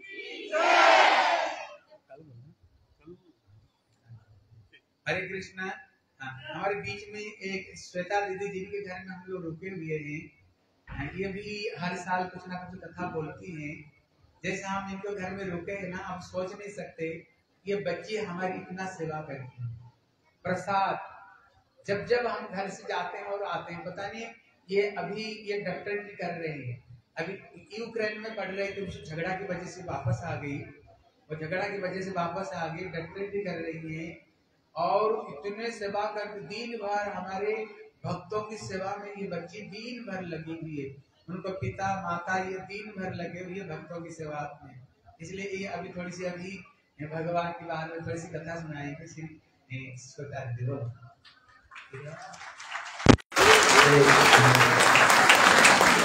ओमज्ञानतिमिरान्तस्य ज्ञानाञ्जनशलाकया चक्षुरुन्मिलितं येन तस्मै श्रीगुरुवे नमः। श्रीकृष्णचैतन्यप्रभुनित्यानन्द श्री अद्वैतगदाधर शिवसति श्रीगौरभक्तवृन्द हरे कृष्णा हरे कृष्णा कृष्णा कृष्णा, हरे हरे हरे हरे राम। सर्वप्रथम मैं अपने गुरुदेव ओम विष्णुपाद अष्टोदर श्री श्रीमद भक्ति वेदांत श्रीधर गोस्वामी महाराज जी के चरण कमलों में अनंत कोटि साक्षात दंडवत प्रणाम करती हूँ। तत्पश्चात मेरे परम गुरुदेव वित्रीला प्रविष्ट विष्णुपाद अष्टोदर श्री श्रीमद भक्ति श्री रूप सिद्धांति गोस्वामी महाराज एवं नित्यलीला प्रविष्ट विष्णुपाद अष्टोदर श्री श्रीमद भक्ति वेदांत श्री नारायण गोस्वामी महाराज जी के चरण कमलों में अनंत कोटि साक्षात दंडवत प्रणाम करती हूँ। तत्पश्चात पंचासी उपस्थित महाराज जी के चरण कमलों में मेरा दंडवत प्रणाम। तथा उपस्थित सभी वैष्णव, वैष्णवी तथा मेरे भाई बंधु सभी को मेरा यथा योग्य दंडवत प्रणाम गुरुदेव के आदेश अनुसार जो भी मैंने मेरे गुरुदेव से सुना है, सीखा है, मैं उसी को आप सबको बताने का प्रयास करूँगी। गुरुदेव बताते हैं कि हम सब मनुष्य इस जीवन में दो चीज़ों के पीछे अपना पूरे जीवन को व्यतीत कर देते हैं। वो दो चीज़ क्या है कि कैसे हमारे जीवन में सुख आए और दुख कैसे हमारे जीवन से जाए तो हम पहले भी श्रवण कर रहे थे कि हमें जहाँ, हमें परम सुख प्राप्त हो सकता है, हम उस सुख को वहाँ ना ढूंढ करके गलत चीज़ों में सुख ढूंढते हैं। हमें सुख कहाँ मिलेगा? ठाकुर जी की भक्ति में। लेकिन हम उस सुख को ठाकुर जी की भक्ति में ना लगाकर इस विषय में मटीरियलिस्टिक वर्ल्ड में हम सुख ढूंढते हैं। किंतु बहुत से लोगों की धारणा है कि ठाकुर जी के नाम, ठाकुर जी की भक्ति करने से हमें क्या मिलेगा? अगर हम ठाकुर जी की भक्ति करेंगे तो क्या हमारा जीवन का निर्धारण हो पाएगा? पैसे आएँगे हमारे घर में। हमारी जो लाइफ की बेसिक नेसेसिटीज है, वो पूरी हो पाएँगी। तो हम क्या करते हैं? बोलते हैं, भक्ति नहीं, कर्म करो। गुरुदेव भी बता रहे थे कि हम लोगों की धारणा क्या है कि कर्म करो। कर्म करने से सब कुछ मिल जाएगा। बहुत सी जगह पे लिखा भी होता है कि कर्म ही भगवान है। कि कर्म करो, कर्म करने से अपने आप तुम्हें भगवान की प्राप्ति हो जाएगी। किंतु उसी कर्म को करने के चक्कर में हम क्या करते हैं कि हमें ये नहीं पता कि जो हम कर्म कर रहे हैं, वो हम कर्म भी सही तरीके से कर रहे हैं कि नहीं कर रहे हैं। उसी के चक्कर में हम क्या करते हैं? कर्म करने के उसमें तरीके में हम कर्म बंधन में फंस जाते हैं। तो हम, हमारे शास्त्रों में लिखा है कि कर्म में तीन प्रकार के कर्म, अकर्म और विकर्म। शास्त्रों में लिखा है कि जो शास्त्रों में लिखा है, शास्त्रों में जैसे हमारे शास्त्रों में लिखा हुआ है कि हमें भगवान सुबह उठ के भगवान की अर्चन, पूजन करना चाहिए। वो अगर हम शास्त्रों को मान करके कुछ चीज़ को करें तो वो है कर्म। किंतु हम क्या करते हैं? शास्त्रों का ना सुनकर उनका उल्टा करते हैं। शास्त्रों में लिखा सुबह उठना चाहिए, लेकिन दिन का दस, ग्यारह, बारह बजे उठेंगे हम। अरे नहीं, बारह बजे तो ठाकुर जी की पूजा हो सकती है। शास्त्रों में नहीं लिखा। शास्त्रों को ना मानकर करना वो है अकर्म। और दूसरा विकर्म, कि जो कोई दूसरा कर रहा है, अगर कोई उठ भी रहा है ना तो उसको बोलेंगे अरे चार बजे उठने क्या उसमें सो जा कोई बात नहीं। नौ बजे उठ जाएँगे ना आराम से। तो खुद तो कर नहीं रहा, और दूसरे को भी नहीं करने दे रहा, वो है विकर्म। तो इन्हीं कारणों से हम किसमें कर्म बंधन में फंस जाते हैं? और बहुत से मतलब धारणा है कि कर्म करेंगे तो कुछ कोई बात नहीं, हमें कौन सा क्या, हमें कौन सा आगे जाके कुछ भोगना है? कर्म कर रहे हैं, कर्म के साथ साथ अकर्म तो कर रहे हैं, फिर पुण्य भी करते रहते हैं साथ साथ। तो गुरुदेव बता रहे थे कि अगर जो हम कर्म करते हैं, जो हम कार्य करते हैं, उसका फल भी हमें ही भुगतना पड़ेगा। कोई और हमारे कर्म को, हमारे पाप को लेकर नहीं आएगा। तो चैतन्य भागवत में गुरुदेव बताते कि चैतन्य भागवत में सदन कसाई की कथा आती है। सदन कसाई वो अ, कसाई कौन होते हैं? जो मांस को काटते हैं। किंतु सदन कसाई क्या करता था वो मांस को काटता नहीं था वो बेचता था। तो उसके पास कोई पत्थर तो था नहीं तो शालीग्राम जी थे उसको पता नहीं था कि वो शालीग्राम ठाकुर है। वो क्या करता था? उस शालीग्राम को एज अ वेट ऑब्जेक्ट के यूज़ में यूज़ करता था। कि कोई आया किसी ने कहा भैया दो किलो मांस देना। वो शालीग्राम जी को रखता था दो किलो मांस दे दिया। किसी ने ढाई किलो मांगा तो उसको रखता था उसको दे दिया।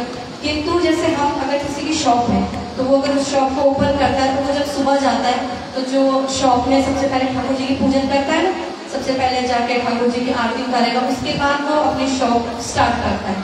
तो उसी प्रकार से वो सदन कसाई क्या करता था उसे नहीं मानते कि वो शालीग्राम जी है। वो तो उसे क्योंकि वो उसका व्यापार जो है उसको चलवा रहे थे तो वो उसको सुबह सुबह उसको साफ़ करता था। महामंत्र से जो हमारा गीत गोविंद है शुद्ध कमला मंडल उसको रिसाइट करते करते वो उसको सफ़ाई करता था, धूप दिखाता था, अर्चन पूजन करता था। अज्ञानता में वो शालिग्राम जी का पूजन करता था। एक समय क्या हुआ कि एक ब्राह्मण उस रास्ते से जा रहा था, उसने देखा कि अरे, ये तुम इसको मीट के साथ को शालिग्राम जी को रख, शालिग्राम जी को रखा हुआ है। ये ठाकुर जी हैं, ये कोई साधारण पत्थर नहीं है। तो वो कसाई तो डर गया उसने सोचा कि अरे, मैं तो ठाकुर जी को गलत कामों में यूज़ कर रहा हूँ तो उसने ब्राह्मण ने कहा कि लाओ, इसे शालिग्राम जी को मुझे दे दो।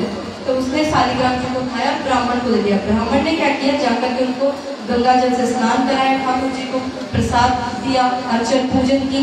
तो जब ब्राह्मण सोया रात को तो ठाकुर जी की उसके स्वप्न में आए कि तुम मुझे यहाँ पे लेके आ गए, लेकिन मैं यहाँ खुश नहीं हूँ। जाओ, जिसके पास मैं पहले था, उस सदन कसाई को ही मुझे दे के आओ वापस। तो जब ब्राह्मण डर गया कि ठाकुर जी स्वयं कह रहे हैं कि मैं यहाँ खुश नहीं मुझे उसे दे के तो वो अगले दिन ब्राह्मण गया और उसने सदन कसाई को शालिग्राम वापस कर दिया। लेकिन तब तो सदन कसाई को पहले तो पता नहीं था, लेकिन अब उसे ज्ञान हुआ कि ये ठाकुर जी है, स्वयं ठाकुर जी हैं। तो उसने सोचा कि अभी तक जो मैंने किया, सो किया। अब मैं क्या करता हूँ, अपने पापों को प्रायश्चित करने के लिए मैं जगन्नाथपुरी पुरी चला जाता तो जब वो जा रहा था, उसने शालिग्राम जी को अपने साथ देखा, वो जगन्नाथपुरी जाने लगा। क्योंकि ब्राह्मण से उसे ज्ञान प्राप्त हुआ कि ये ठाकुर जी हैं इसे हमें गलत काम में नहीं यूज़ करना चाहिए। इसका पाप तुम्हें को भोगना पड़ेगा। तो जब वो जा रहा होता, वो देखता है, पहले तो कोई वाहन थे नहीं, अभी तो हम बस एरोप्लेन से जा सकते हैं। लेकिन पहले वॉकिंग डिस्टेंस था। तो वो जब जा रहा था तो काफ़ी रात हो गई। तो वो जब रात को जाते जाते वो थक गया। उसने देखा कि कोई विश्राम की जगह हो तो उसने देखा एक कुटिया बनी हुई थी। उसमें वो गया तो उसने पूछा कि कोई है? जो मेरी मदद कर सके तो वहाँ से एक स्त्री बाहर निकल के उसने कहा हाँ तो उसने पूछा कि मैं ऐसे मुझे जगन्नाथपुरी जाना है तो क्या मैं सुबह में निकल जाऊँगा? मुझे सिर्फ़ एक रात के लिए अपने पास रुकने की कोई जगह दे दो तो वो स्त्री बोलती कि कोई चिंता मत करो, हमारे पास दो रूम है, एक में मैं और मेरे पति रुके हुए हम रुक जाएँगे, दूसरे रूम में आप विश्राम कर लीजिए तो रात को जब वो सदन कसाई उसमें विश्राम कर रहा होता है तो वो पत्नी क्या करते हैं, अपने पति को छोड़ के उसके पास आ जाती है सदन कसाई। उसको बोलती है कि अब मैं तुम्हारे साथ रहूँगी, मैं अपने पति के साथ नहीं, तुम्हारे साथ रहूँगी। तो वो बोलता है भगवान, मैं तो वहाँ से छोड़ करके आया क्योंकि मैं पाप कर रहा था वहाँ, और यहाँ के फिर पाप तो बोलता है कि नहीं, मैं ऐसा नहीं कर सकता। मैं तो वहाँ- जगन्नाथपुरी अपने पापों का प्रायश्चित करने आया हूँ, और मैं यहाँ के दोबारा पाप करूँ? तो उसकी पत्नी, जो स्त्री होती है, वो बोलती है अच्छा तुम मेरे पति से डर रहे हो? चिंता मत करो, मैं अपने पति को भी मार देती हूँ। तो वो पत्नी क्या करती चाकू निकालती है और अपने पति का गला काट देती है। तो वो कसाई देखता है कि जब इसने अपने पति को नहीं छोड़ा तो क्या ये मुझे छोड़ेगी? तो वो वो जैसे ही वो बाहर निकलने लगता है भागने के लिए तो वो स्त्री क्या करती है? वो हल्ला मचा देती है कि बचाओ बचाओ बचाओ। तो जो आसपास के लोग होते हैं वो आ जाते हैं उससे पूछते हैं कि क्या हुआ? तो कहता है, देखो, इसने मेरे पति को मार दिया और अब कह रहा है कि मैं तुम्हारे साथ रहूँ तो वो क्या करते हैं? वो लोग उसे पकड़ के राजा के पास ले जाते हैं। तो जब राजा के पास जाते हैं तो वो स्त्री सारी बात उन्हें बताती है कि ऐसे ऐसे तो राजा बोलते कि इन्हीं हाथों से इसने इसके पति को मारा ना, एक काम करो, इसके हाथ कटवा दो। तो जो जब राजा का आदेश हुआ तो उसके मंत्रियों ने उसके सिपाही ने उसके हाथ काट दिए। तो वो सदन का सारी सोचता कि मैंने इतने पाप किए, क्योंकि मैं ठाकुर जी को वहाँ रखता था, मुझे पता नहीं था। मैं शालिग्राम जी को वहाँ मांस की जगह रखता था तो शायद इसीलिए ठाकुर जी ने मुझे मेरे पापों का दंड दिया है। तो फिर वो क्या करता है कि चलो, कुछ नहीं, मैं पापों का प्रायश्चित करने के लिए पूरी मंदिर जाता हूँ। तो जब वो जगन्नाथ जी के मंदिर में जाता है तो वो सब देखता है कि जगन्नाथ मंदिर में प्रवेश करते सब लोग हाथ उठा के बोल रहे थे जय जगन्नाथ जय जगन्नाथ। तो वो भी सोच, वो भाव में होता है। उसको नहीं ज्ञान होता कि उसके हाथ कट चुके हैं। वो क्या करता है? वो भी अंदर घुसकर बोलता है, जगन्नाथ स्वामी की जय जय जगन्नाथ। वो जैसे इतना बोलता है, उसके हाथ थे नहीं, वो हठात देखता कि मेरे हाथ वापस आ चुके हैं। जैसे वो जय जगन्नाथ बोलते उसके ठाकुर जी उसके हाथ दे देते जैसे ही देखता है कि मेरे हाथ तो थे नहीं तो ठाकुर जी ने मुझे हाथ मेरे हाथ आ गया तो सामने ठाकुर जी की मूर्ति होती है, वो जगन्नाथ जी से प्रश्न करता है कि ठाकुर जी जब आपने मुझे मेरे हाथ कटवा, जब आपको मुझे हाथ देने ही थे तो आपने मेरे हाथ कटवाए थे। और जब कटवा ही दिए थे तो आप वापस दिए क्यों तो जगन्नाथ जी बोलते हैं कि सुनो, तुम अपने पिछले जन्म की कथा याद करो। तुम पिछले जन्म में ब्राह्मण थे। तुम शाम के टाइम अपनी गाय को आदमी कर रहे थे। तो उसी समय एक मुसलमान एक गाय को ले जा रहा था। मुसलमान उस गाय को काटने के लिए ले जा रहा था। तो वो उस गाय को के ले जा रहा था। किसी प्रकार वो गाय खुल जाती है। वो खुल के भागने लग जाती है। तो जैसे ही वो भागती एक आता है तो गाय डाइवर्जन ले लेती है उस रोड पे से। और वो वो ब्राह्मण वहीं बैठा होता है, वो गायत्री कर रहा होता है। तो मुसलमान आता उसके पास और पूछता है कि गाय किस डायरेक्शन में गई तो कह रहे तुम्हें पता नहीं होता कि वो मुसलमान उस गाय के बारे में किस कारण से पूछ रहा है। तुम सिर्फ़ इशारा करते हो कि इस डायरेक्शन में। क्योंकि वो गायत्री कर रहा होता बोल तो सकता ही तो वो हाथ करते थे कि गाय इस ओर गई। तो वो ठाकुर जी बोलते कि तो देखो, तुमने फिर वो मुसलमान क्या करता गाय को पकड़ के उसको काट देता है। तो बोलते तुम्हारे पिछले जन्म का वो पाप था। तुमने पिछले जन्म में अज्ञानता से सिर्फ़ हाथ का इशारा किया कि गाय किस दिशा में गई? उस दिशा में। काटा उस मुसलमान ने। लेकिन उस काटने का दंड किसको मिला? तुम्हें मिला। उसी कारण तुम्हें इस जन्म में अपने हाथ कटवाने पड़े। क्यों? क्योंकि तुमने इशारा किया कि गाय उस ओर गई है।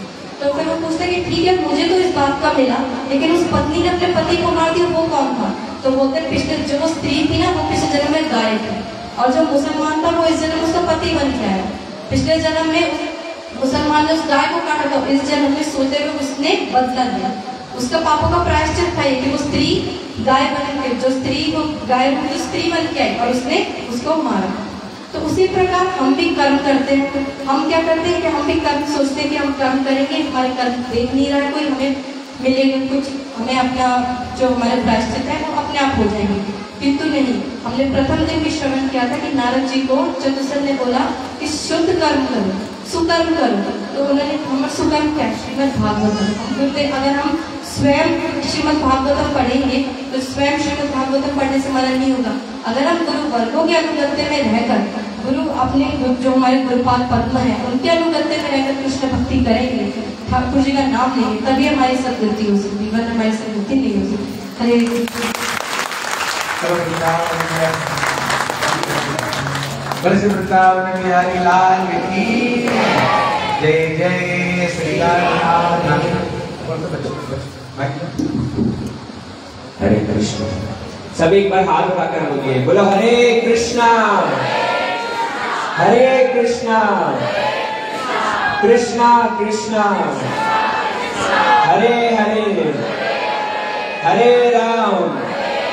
हरे राम। राम राम। हरे हरे। आज एकादशी का दिन है, जो लोग एक बार चुप गए थे, फिर से वापस दोनों हाथ उठा के ज़ोर से बोलिए, बोलो, हरे कृष्णा। हरे कृष्णा। कृष्णा कृष्णा। हरे हरे। हरे राम। हरे राम।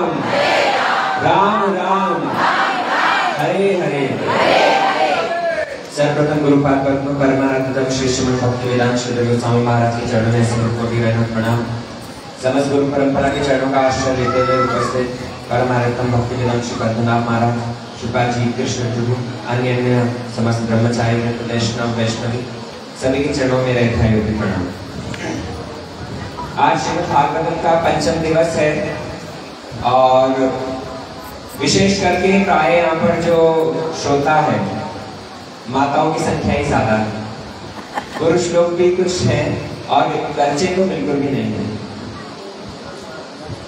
हम लोग देखो, प्राय करके भारतीय सभ्यता में हमारा जन्म हुआ है और हम लोग काफ़ी संस्कारी परिवार से आए हैं। इसके कारण हमारे अंदर बचपन से ही यह भगवान के प्रति थोड़ा रुझान रहता है। इसीलिए यहाँ पर प्राय करके जो माता हुई है, भक्तिमती माताएँ हैं, उनको भागवत रामायण, गीता इत्यादि ग्रंथों में रुचि होती है, उसको श्रवण करने के लिए सुनते ही सब आते हैं। किंतु आजकल की जो युवा पीढ़ी है, आजकल की युवा पीढ़ी जिस प्रकार की शिक्षा ग्रहण कर रही है, किस प्रकार की शिक्षा जो स्कूल में पढ़ाया जाता है A for apple B for boy या फिर जिससे उनको किस तरह से पैसा कमाना है, ये चीज़ तो अच्छे से शिक्षा मिल जाती है। लेकिन किस तरह से अपना परमार्थिक जीवन बनाना है, या फिर इस मनुष्य जीवन का क्या उद्देश्य है, इस प्रकार की शिक्षाएँ स्कूलों में नहीं दी जाती।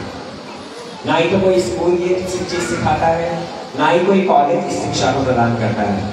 इसी के कारण देखो, आजकल की युवा पीढ़ी का रुझान भगवान के प्रति, आध्यात्म के प्रति, भक्ति के प्रति बहुत ही कम है। और बच्ची कुछ कसर पूरी कर दी आजकल जो टेलीविज़न, इंटरनेट, स्मार्टफ़ोन में, है ना? माता पिता को पहले होता था कि माँ होती प्रथम गुरु। आज के समय में मोबाइल हो गया है गुरु गूगल हो गया है गुरु गूगल से देख देख के सभी बच्चे सीखते हैं। जो आजकल का बॉलीवुड सिखाता है, वो बच्चे सीखते हैं। जैसा वो पहनना सिखाता है, वैसे कपड़े पहनते हैं। सच है कि? सच है ना? एक मूवी के अंदर बच्चों ने देखा किस तरह से एक प्रेमी अपनी प्रेमिका को प्रेम कर रहा है और ऐसा ही वो अपने जीवन में अपनाने की कोशिश करते हैं। क्या देखा? अपने घर से भागकर रात में शराब पीते हुए, गाड़ियों में घूमते हुए खूब मौज मार रहे हैं। और वैसा ही आजकल के बच्चे अपने जीवन में अपना के खुश होने की चेष्टा करते हैं। है ना? तो ये शिक्षाएँ मिल रही है हमारे गलत सोच से। लेकिन क्योंकि हम उनके माता पिता हैं तो ये हमारा दायित्व तो बनता है कि हमें उनको सदमार्ग पर लगाना ये प्रत्येक कल सुन रहे थे ना ध्रुव महाराज की कथा? किस प्रकार जब ध्रुव महाराज वैकुंठ लोक को जाने लगे तो उस समय पर उनकी माता को उनसे पहले ही संतति प्रदान हो गई इसलिए क्योंकि माँ ने पुत्र को भगवत भजन की शिक्षा प्रदान की। ठीक उसी प्रकार यहाँ पर जो सारी माताएँ बैठी हैं, उनका भी ये कर्तव्य है कि स्वयं तो भक्ति आचरण करते हुए अपना जीवन सार्थक करेगी। साथ ही साथ जिस संतान को जन्म दिया है, उसका भी दायित्व हमारे ऊपर है। केवल मात्र उसका पेट भर के उसको बड़ा बना लेना, मनुष्य कर देना इसलिए यहाँ तक ही सीमित नहीं है। उसको परमार्थिक शिक्षा प्रदान करके आत्म कल्याण किस तरह से होगा, वो शिक्षा भी देनी पड़ेगी। आप लोग तो संस्कारी हैं, यदि मैं किसी को कहूँ कि भैया, तुलसी की चार परिक्रमा करा करो, रोज उसमें जल दिया करो, हम लोग सहज में ये बात मान लेंगे। लेकिन अगर आजकल के बच्चों को किसी को कहा जाए कि तुलसी में पानी दिया करो, तुलसी को आँगन में लगाओ, या तुलसी की परिक्रमा करो तो वो ये चीज़ नहीं मानेंगे। क्यों? क्योंकि आध्यात्म जगत आज का आधुनिक जगत है और वैज्ञानिक जगत है। वैज्ञानिक तरीके से हमारे पास वो समझाने के तौर तरीके नहीं। इसीलिए बच्चों को, बच्चों के तरीके से समझाने के लिए क्या हम लोग ना एक ऑनलाइन कोर्स करते हैं। हमारी दीदी है यहाँ पर जो सबके नाम लिख लेगी जो बच्चे यहाँ पर इंटरेस्टेड हैं, जो माताएँ, अपने बच्चों को उस प्रकार की शिक्षा प्रदान करना चाहती है। वो आकर हमसे संपर्क करें। हम उन बच्चों को अच्छे से शिक्षा प्रदान करेंगे, आध्यात्मिक शिक्षा। जिससे क्या हो, वो पढ़ाई में तो अव्वल रहेगी। जो जागतिक पढ़ाई है, उसमें तो अव्वल होंगे ही, साथ ही साथ साथ परमार्थिक शिक्षा भी ग्रहण करें। घर के अंदर एक भजनमय परिवेश हो। सब गुरुदेव के मुखारबिंद से कितनी बार हम सुनते हैं, जिस घर में सब बच्चे भजन करें। सब भक्तिमय परिवेश हो, वो घर ही वृंदावन है। वो घर ही अयोध्या है। इसीलिए हमारी ये चेष्टा है कि आपके बच्चे, आप लोग तो भजन कर रहे हैं। आप लोग तो भागवत कथा सुन के अपना जीवन को लाभान्वित कर रहे हैं। लेकिन आपके बच्चों को भी उस प्रकार की शिक्षा मिले। इसीलिए हमारी दीदी खड़े हो जाओ।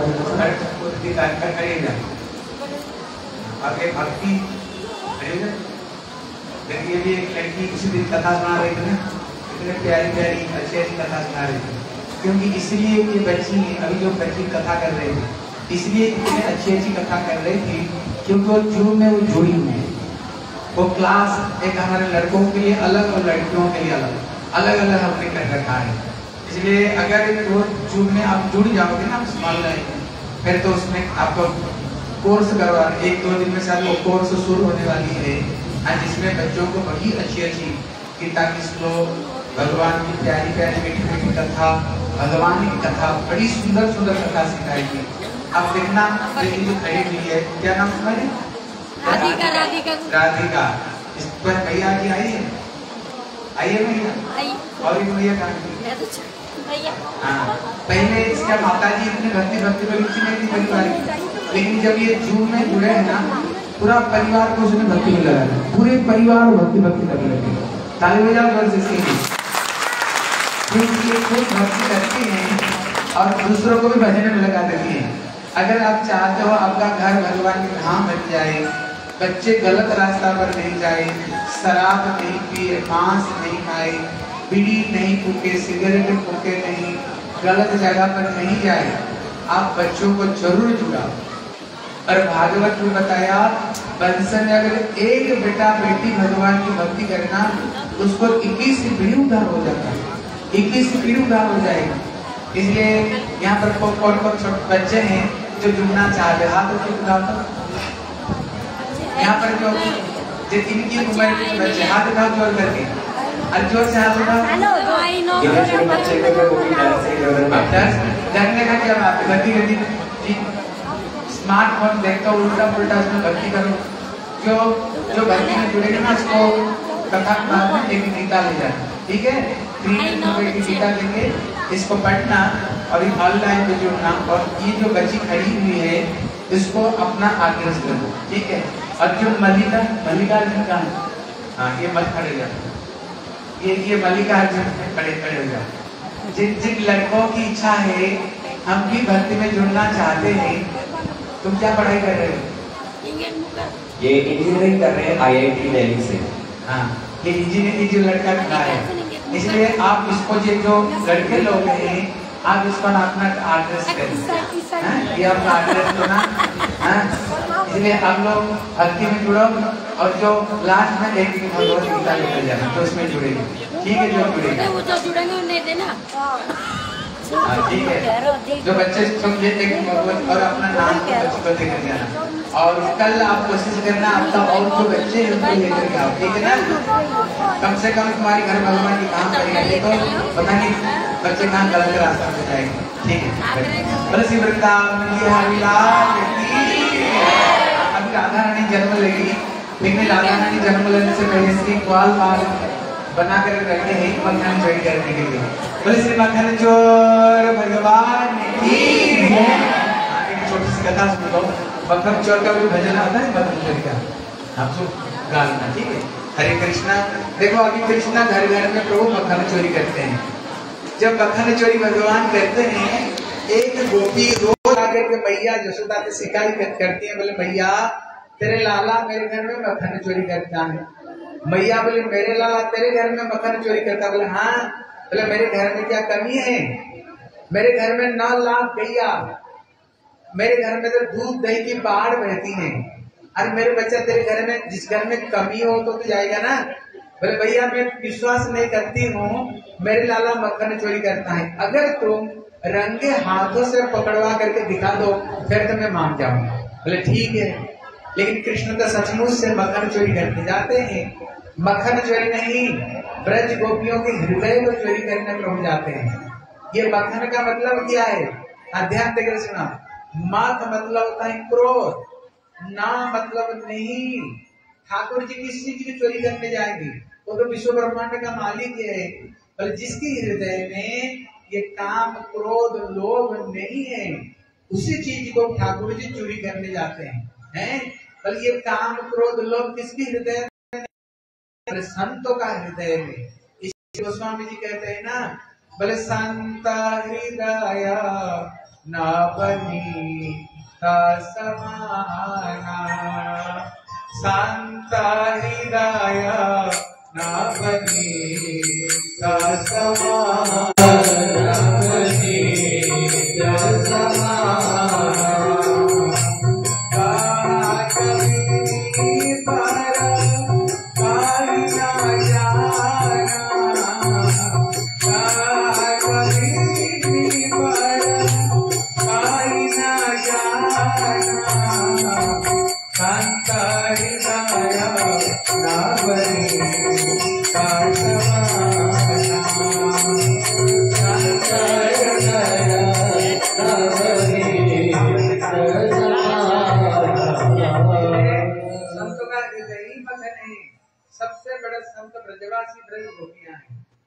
ठाकुर जी उनके हृदय को ठाकुर जी चोरी करने जाते हैं। ठाकुर जी रोज रोज आते हैं। इतने में वो गोपी ने किया कि सुंदर एक मटकी में मक्खन को रख करके घर में धर दी और कोने में छुप करके बैठी बोला, आज कन्या आएगा तो मैं पकड़ करके मैया दशता के पास में रंगे हाथ से ले जाऊँगी। कृष्ण आए, आगे देखा, पीछे देखा, सामने देखा, कोई दिखाई बोले, कोई है नहीं। जैसे बिल्ली अंदर में धीरे धीरे चलता है ना, वो बिल्ली जैसे पाम को दबाते हुए गए और मक्खन खाने लगे। गोपी तो खुश हो गई। आज मक्खन बनाना मेरा सार्थकता हो गया क्यों ठाकुर जी सेवा कर रहे हैं। लेकिन ठाकुर जी जब मक्खन खा लिए ना, है, इतने में गोपी जाकर पकड़ लिए, बोले, कहा जाके तेरे को आज मैया को पास में बाँध करके ले जाऊँगी। मेरे घर में क्यों तुम मक्खन चोरी करने आए? कृष्ण बोले, गोपी मैं तो सोच रहा था अपना घर में ही मक्खन चोरी कर रहा था। बोले, अपना घर में कर रहे थे। चलो भैया के पास में। बोले, गोपी तेरे पाम पड़ता हूँ तेरे। सास की, ससुर की तेरी खसम की पाम पड़ता हूँ। आज छोड़ते कल से नहीं आऊँगा। बोले, छोड़ने वाला नहीं। चलो भैया के पास में। ए, पकड़ करके ले जा रही जब ले जा रही थी, लेकिन कृष्ण तो भगवान है ना। ठाकुर जी भगवान। इतने में जब ले जा रही थी, देखा घर के सामने जेठ बैठी हुई। कौन? नंद बाबा जेठ लगते हैं। अभी जेठ को तो पर्दा करते हो। उनको गुजरी सब पता है। जेठ को पर्दा करते हैं। इतने में उसने पर्दा की और बच्चे का सर के ऊपर कपड़ा ढक दी बोले से स्त्रियों का स्त्रियों का बात है। नंद बाबा को बोल कर क्या लाभ है? पीछे दरवाज़ा से मैं जा करके मैया को दिखाऊँगी। पीछे दरवाज़ा से आई बोले, मैया, जसोदे! मैया बोले समय समय क्यों चिल्ला रही हो? क्या हो गया? बोले, तुम मानती नहीं ना, तेरे लाला घर घर में मकन चोरी करता है। आज मैं रंगे हाथों से पकड़ करके लाई हूँ। लेकिन कृष्ण तो भगवान है। उसी समय मैया जसोदा कृष्ण को पलंग को ऊपर में थप लगा करके सुला रही थी मैया बोली, इसको लेकर के आए? मेरे लाला तो घर में सोया हुआ है। मैया आई क्या क्या बात है? बोले, तुम मानते नहीं ने तेरा लाला मक्खन चोरी करता है, देख रंगे हाथों से पकड़ करके लाई बोले, लगता है भाँग की बोला ज़्यादा खा ली अरे, मेरे लाला तो अंदर में सो रहा है। तू तो अपना बच्चे को जब उसको सर पर कपड़ा ढक दिया ना, भगवान क्या हुआ उसकी बच्चा ही बन गई। बोले, तू तो अपना बच्चे को लेकर के आई हो। बोले, अपना बच्चा कैसे? मैं तो कृष्ण को लेकर के आई हूँ। जब अपना घूंघट को खोली, बच्चे को ऊपर से कपड़ा को उठाई, देखा, वो उसका ही बेटा है। इतने में कृष्ण अंदर में सो रहे थे और आँख को मलते मलते आई बोले, भैया, तुमने देख ली? ये गोपी कितने झूठ बोलती है। मैं अपना घर छोड़कर कहीं जाता ही नहीं। ये झूठ मूठ की मेरे नाम पर ये शिकायत करती है। है शिकायत करती है। मैया बोले, तेरे को शर्म नहीं आती? है मेरे लाला घर से कहीं जाता नहीं। और झूठ मूठ को तू बहाना बनाती हो? कृष्ण बोले, भैया, अगर ये झूठ मूठ की ऐसे बोलेगी ना मैं सचमुच से इसके घर में मक्खन चोरी करूँगा। वो गोपी तो बड़ी शर्मिंदा में पड़ गई। जब जा रही थी कृष्ण, दूसरे रास्ता से आ गई। बोले, क्यों गोपी? क्या बात है? देखा मैंने तुम्हारी कितने पाम पड़ा। तेरे खसम के, तेरे सास की, तेरे ननद की। देखा आज तेरे बेटे को ही मैंने चोर बना दिया। भविष्य में कभी मेरे को चोर बना करके लाओगे ना? तेरे खसम को चोर बना दूँगा। वो गोपी बोली कन्या मैं हार गई तू जीत गया। ऐसे कृष्ण घर घर में प्रभु जी ऐसे मक्खन चोरी करते थे।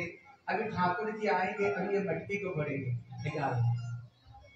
बोलिए भगवान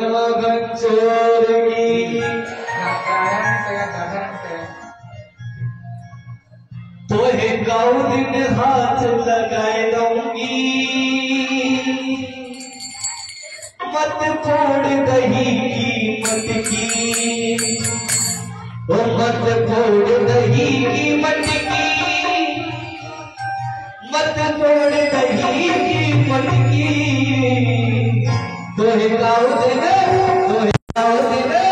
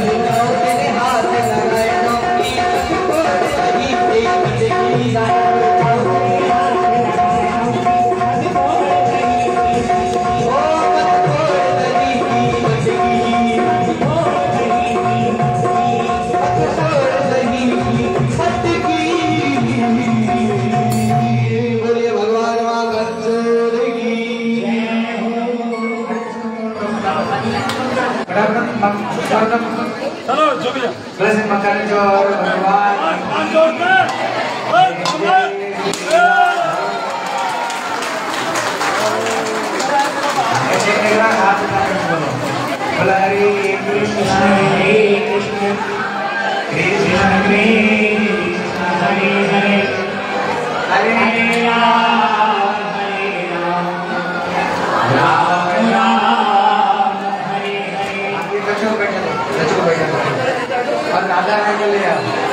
क्या राधा रानी को ले आओ भैया?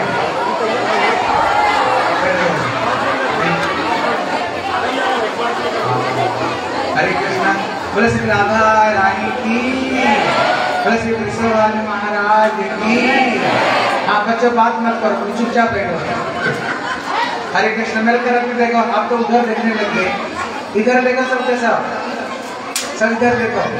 हरे कृष्णा, मेरे तरफ़ से देखो। बताओ सब बैठ जाओ बोले, श्रीमती राधा रानी की जयकार ठीक से दो ना। बोले, श्री वृषभान राज नंदिनी की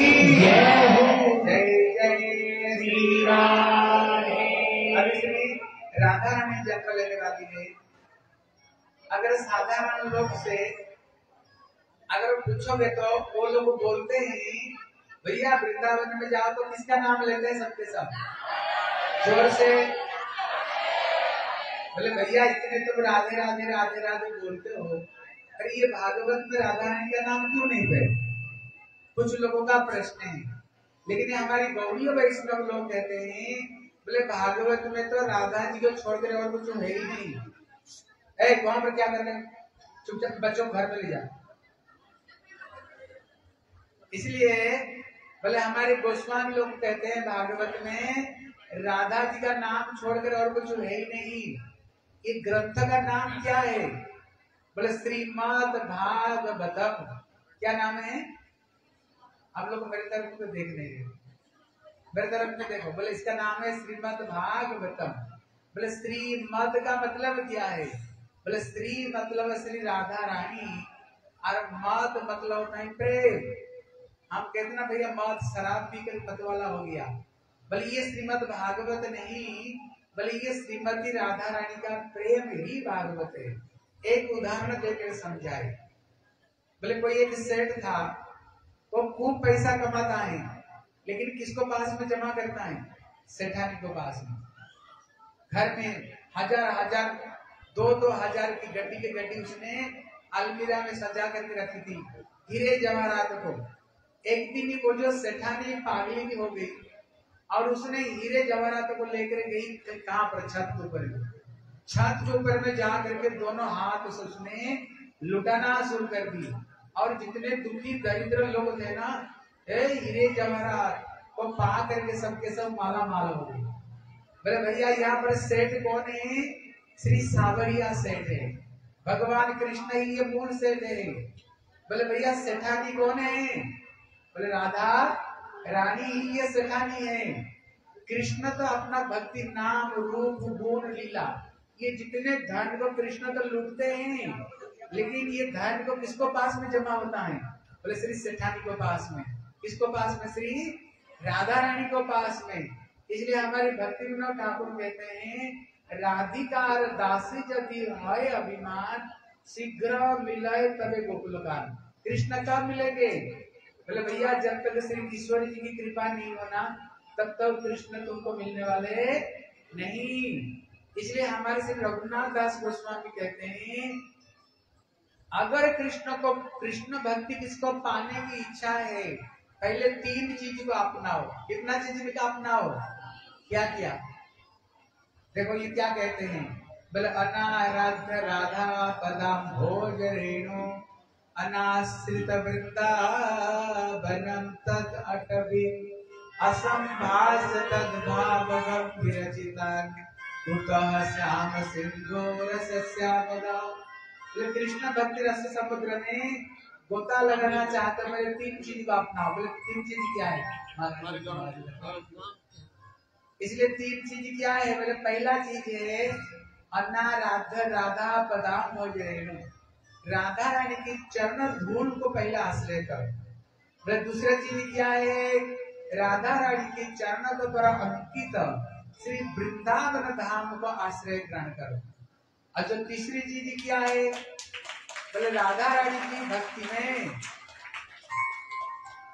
बोले, श्री वृंदावन बिहारी लाल की।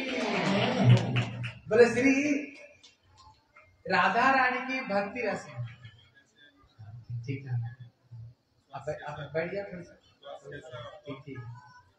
इसलिए राधा रानी की भक्ति में जो संत डूबे हुए हैं, बोले, ऐसे भक्तों का शरण जब तक ग्रहण नहीं करोगे, बोले, भैया, कृष्ण कृष्ण बोलने से कृष्ण नहीं मिलेंगे। जैसे कृष्ण तीन जगह से टेढ़ी है ना, कृष्ण भक्ति भी बड़ी टेढ़ी थी है। इसलिए कहते हैं, तू टेढ़ो, तेरी टेढ़ी नज़रिया। हाँ कृष्ण का सब कुछ टेढ़े हैं। लेकिन वो टेढ़े टांग वाल को अगर कोई आयत करना चाहते हैं, क्या करो? बोले, राधा जी की चरण का आश्रय ग्रहण करो, राधा जी की भक्ति के आश्रय करो, तभी जाकर के कृष्ण मिलेंगे, नहीं तो कृष्ण मिलने वाले नहीं। बोले, श्रीमती राधा रानी की आप बोलोगे, फिर भागवत में राधा जी का नाम क्यों नहीं आप कहीं भी स्पष्ट रूप में राधा जी का नाम नहीं देखोगे, बोले, क्यों? देखो, इसका तीन चार कहानी बता देता हूँ। कल सबसे पूछूँगा। पहला कारण है, भागवत का सर्वप्रथम जो टीकाकार श्रीधर स्वामी हुए तो जब श्री सुखदेव गोस्वामी राधा जी का एक बार नाम लेते थे, बोले सड़ मानसिक मूर्छा भवे बोले, वो छह महीना तक बेहोश हो जाते थे। उन्होंने देखा, अगर राधा जी का एक बार नाम लेकर छह महीना बेहोश हो गया, फिर सात दिन में कथा किसी सुना इसलिए उन्होंने राधा जी का नाम तो उन्होंने नहीं लिया। दूसरा कारण किया?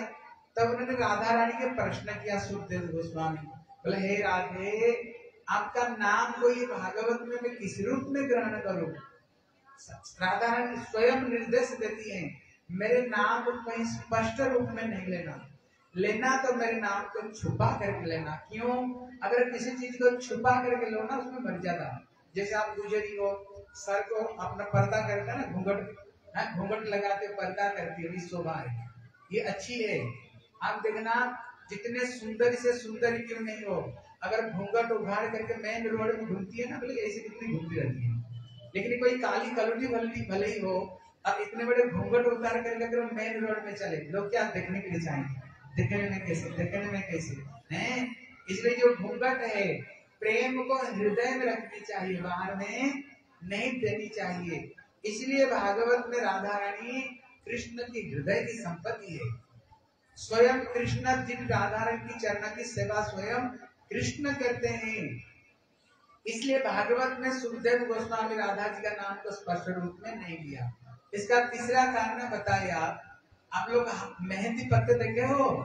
कौन कौन मेहंदी पत्ते देखे हो? आप बताओ तो पत्ते का रंग कैसे है? हरा हरा है लेकिन क्या वास्तव में मेहंदी पत्ता हरा है? क्या है? लाल है, लेकिन ऊपर से क्या दिखती है? हरा हरा फिर उसको पीसो। तब भी वो हरा हरा दिखती है। लेकिन जब माताएँ मेहंदी हाथ में लगा देते हो, फिर कौन सा रंग बन जाता है? इतने लाल बन जाती, महीना तक भी हाथ से नहीं छूटती उसी तरह भागवत को देखो, ऊपर ऊपर तो कृष्ण कृष्ण देखोगे। लेकिन अंदर में झाँक करके देखोगे ना, कृष्ण के हृदय, भागवत को हृदय में कौन बैठी है? श्री राधा रानी, एक बार ज़ोर से जयकार दो। बोले श्रीमती राधा रानी की जय हो। ये कारण बताए। बोले श्री चौथा कारण क्या बताए? उदाहरण दिया कृष्ण की जो भक्ति है ना एक बहता हुआ नदी जैसे। जैसे नदी का पानी सब पी सकते हैं जानवर चिड़िया इंसान लेकिन कुएँ का अगर पानी हो कुएँ का पानी सब नहीं पी सकते जिसको पास में कोई रस्सी पात्र होना वही व्यक्ति कुएँ का पानी पी सकते मतलब क्या? जैसे नदी में कोई स्नान कर रहा है, कपड़ा धो रहा है, जानवर भी स्नान कर पानी जो मिला हुआ पानी। लेकिन कुएँ का पानी देखो ना पवित्र, एकदम निर्मल ठंडा पानी। लेकिन कुएँ का पानी किया बोले राधा जी की भक्ति। बोले बहता हुआ नदी किया बोले कृष्ण भक्ति। कृष्ण भक्ति तो सब कर सकते हैं, लेकिन भैया राधा जी का भक्ति सब नहीं कर सकते हैं। कौन कर सकते हैं? जिसको पास में रस्सी और कोई पात्र हो तभी कोई व्यक्ति कृष्ण राधा जी की भक्ति कर सकते मतलब क्या? बोले, जब तक आप किसी रसी की संप्रदाय में, जिस संप्रदाय में राधा जी की एकनिष्ठ भक्ति हो रही है, जैसे हमारे संप्रदाय का नाम गौड़ी संप्रदाय।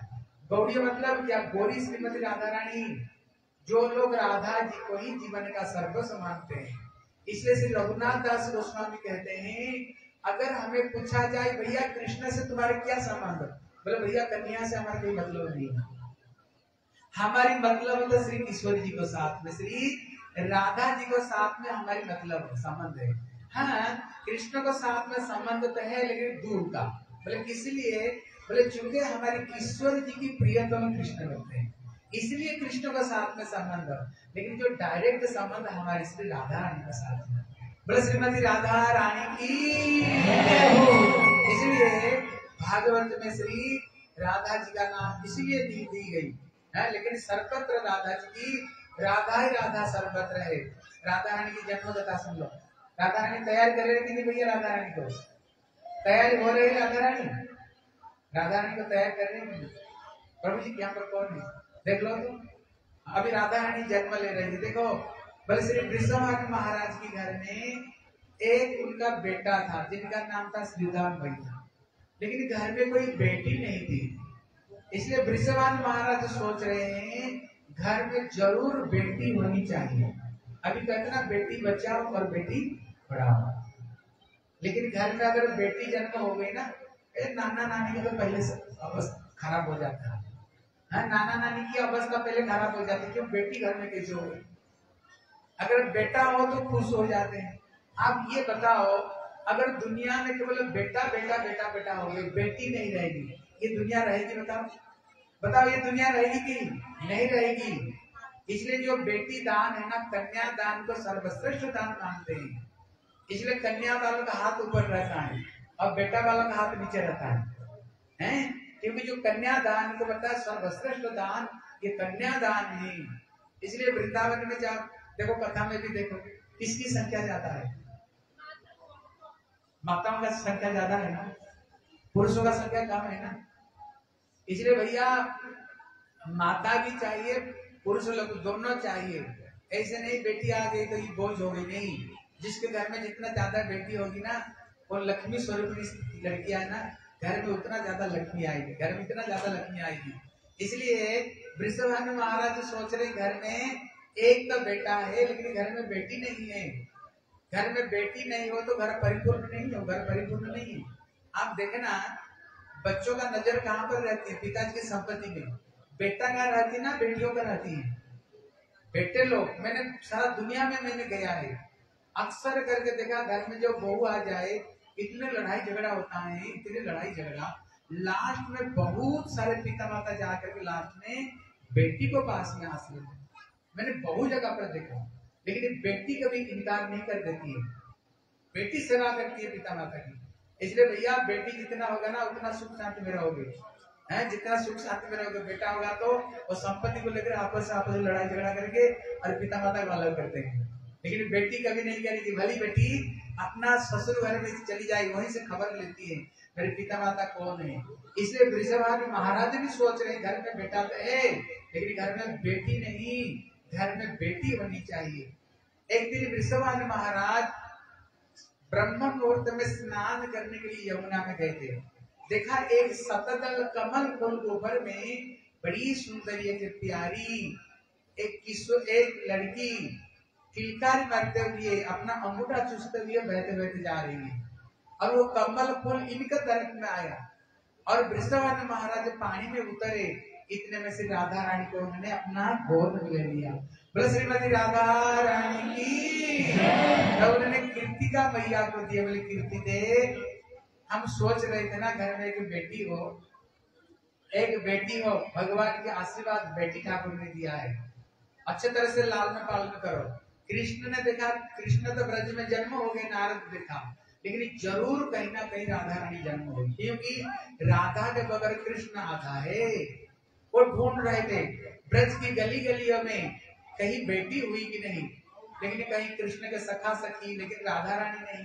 लेकिन जब रावल में आए, वृषभान महाराज से पूछे, कोई बेटी हुई तो चुप हो गए? क्यों जमुना से मिली बोले, बताओ ना बोले हाँ एक बेटी हुई। बोले, ले करके आओ। जब ले करके आए, नारद देख करके पहचान गए। बोले, भैया, यही तो कृष्ण की प्राणेश्वरी, रमेश्वरी, खेमेश्वरी, त्रिवेद भारतीश्वरी। प्रमाण शासनेश्वरी यही समस्त ईश्वरी के, ईश्वरी श्री राधा रानी, इनको तो मैं ढूंढ रहा था।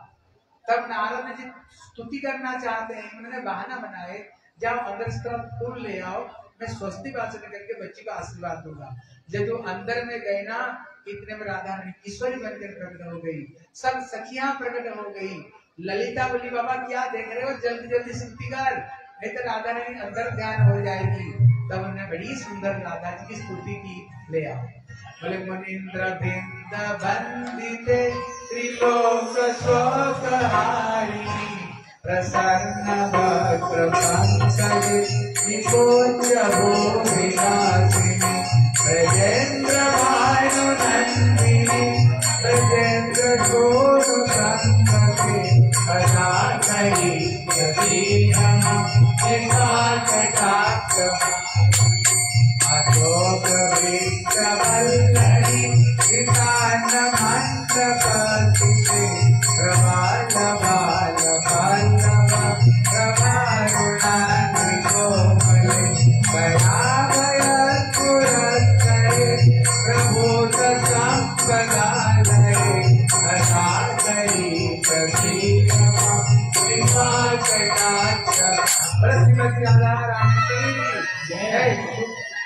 बात वो लड़की के ऊपर कोई चुनरी ओढ़ दो इसके बाद में कोई अच्छी चंद्र होगा चुनर मिलेगा इसलिए अभी इतने में श्री वृषभानु महाराज प्रसन्न हो गए। संपूर्ण ब्रजवासियों को नौता दी। सारे ब्रजवासी लोग आए और बड़े धूमधाम से श्री राधा रानी के और कोई इस रंग का तालतू रंग का नहीं, कोई बढ़िया रंग का इसलिए उन्होंने बड़े धूमधाम से राधा रानी की धोरीलाल जी बड़े धूमधाम से उन्होंने राधा रानी की उन्होंने उत्सव मनाए। बोले श्री राधा रानी की। अभी हमारे देवीलाल प्रभु जी राधा जी की बड़ी सुंदर सुंदर बधाई गाएँगे। और राधा रानी जन्म ले रहे है। इधर सुना शिवा की पत्नी तुम्हारी सुंदर सुंदर इसलिए अब देखो अभी राधा रानी जन्म ले रही है। राधा रानी की जन्म उत्सव में जो नृत्य करे ना माँ लक्ष्मी की बड़ी कृपा होगी और ध्यान देकर सुना, जिनको पास में कोई सोने की कोई चीज़ चीज़ पहन करके आए हो, कल कोई एक पुतना आ गई थी, कोई दुष्टा कोई पुतना आ गई थी कथा में, और किसकी चेन को तोड़ करके ले गई। अगर किसको पास में कोई सोने की चेन हो, भैया हमको दोष नहीं देना। हम कथा में आए, हमारे सोने की चेन चली गई, और यहाँ से बेचैन होकर गए। इसलिए कोई सोने की कोई गहना पहने हो सावधान से सावधान से पहनना ठीक है हाँ दो लड़की करो। श्री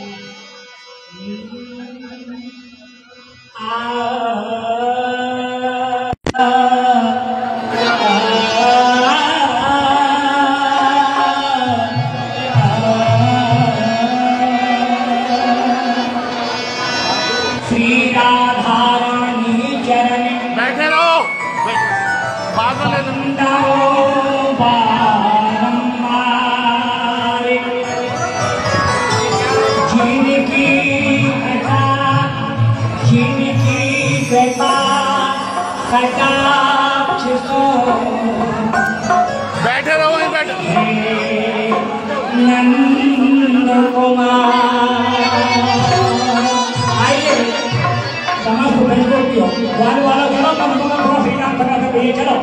बरसाएँ चलती हैं। लाली आई रे बरसा चाचे बैठ जाओ। लाली आई रे बरसा के चल घूम घूम के चलो घूम।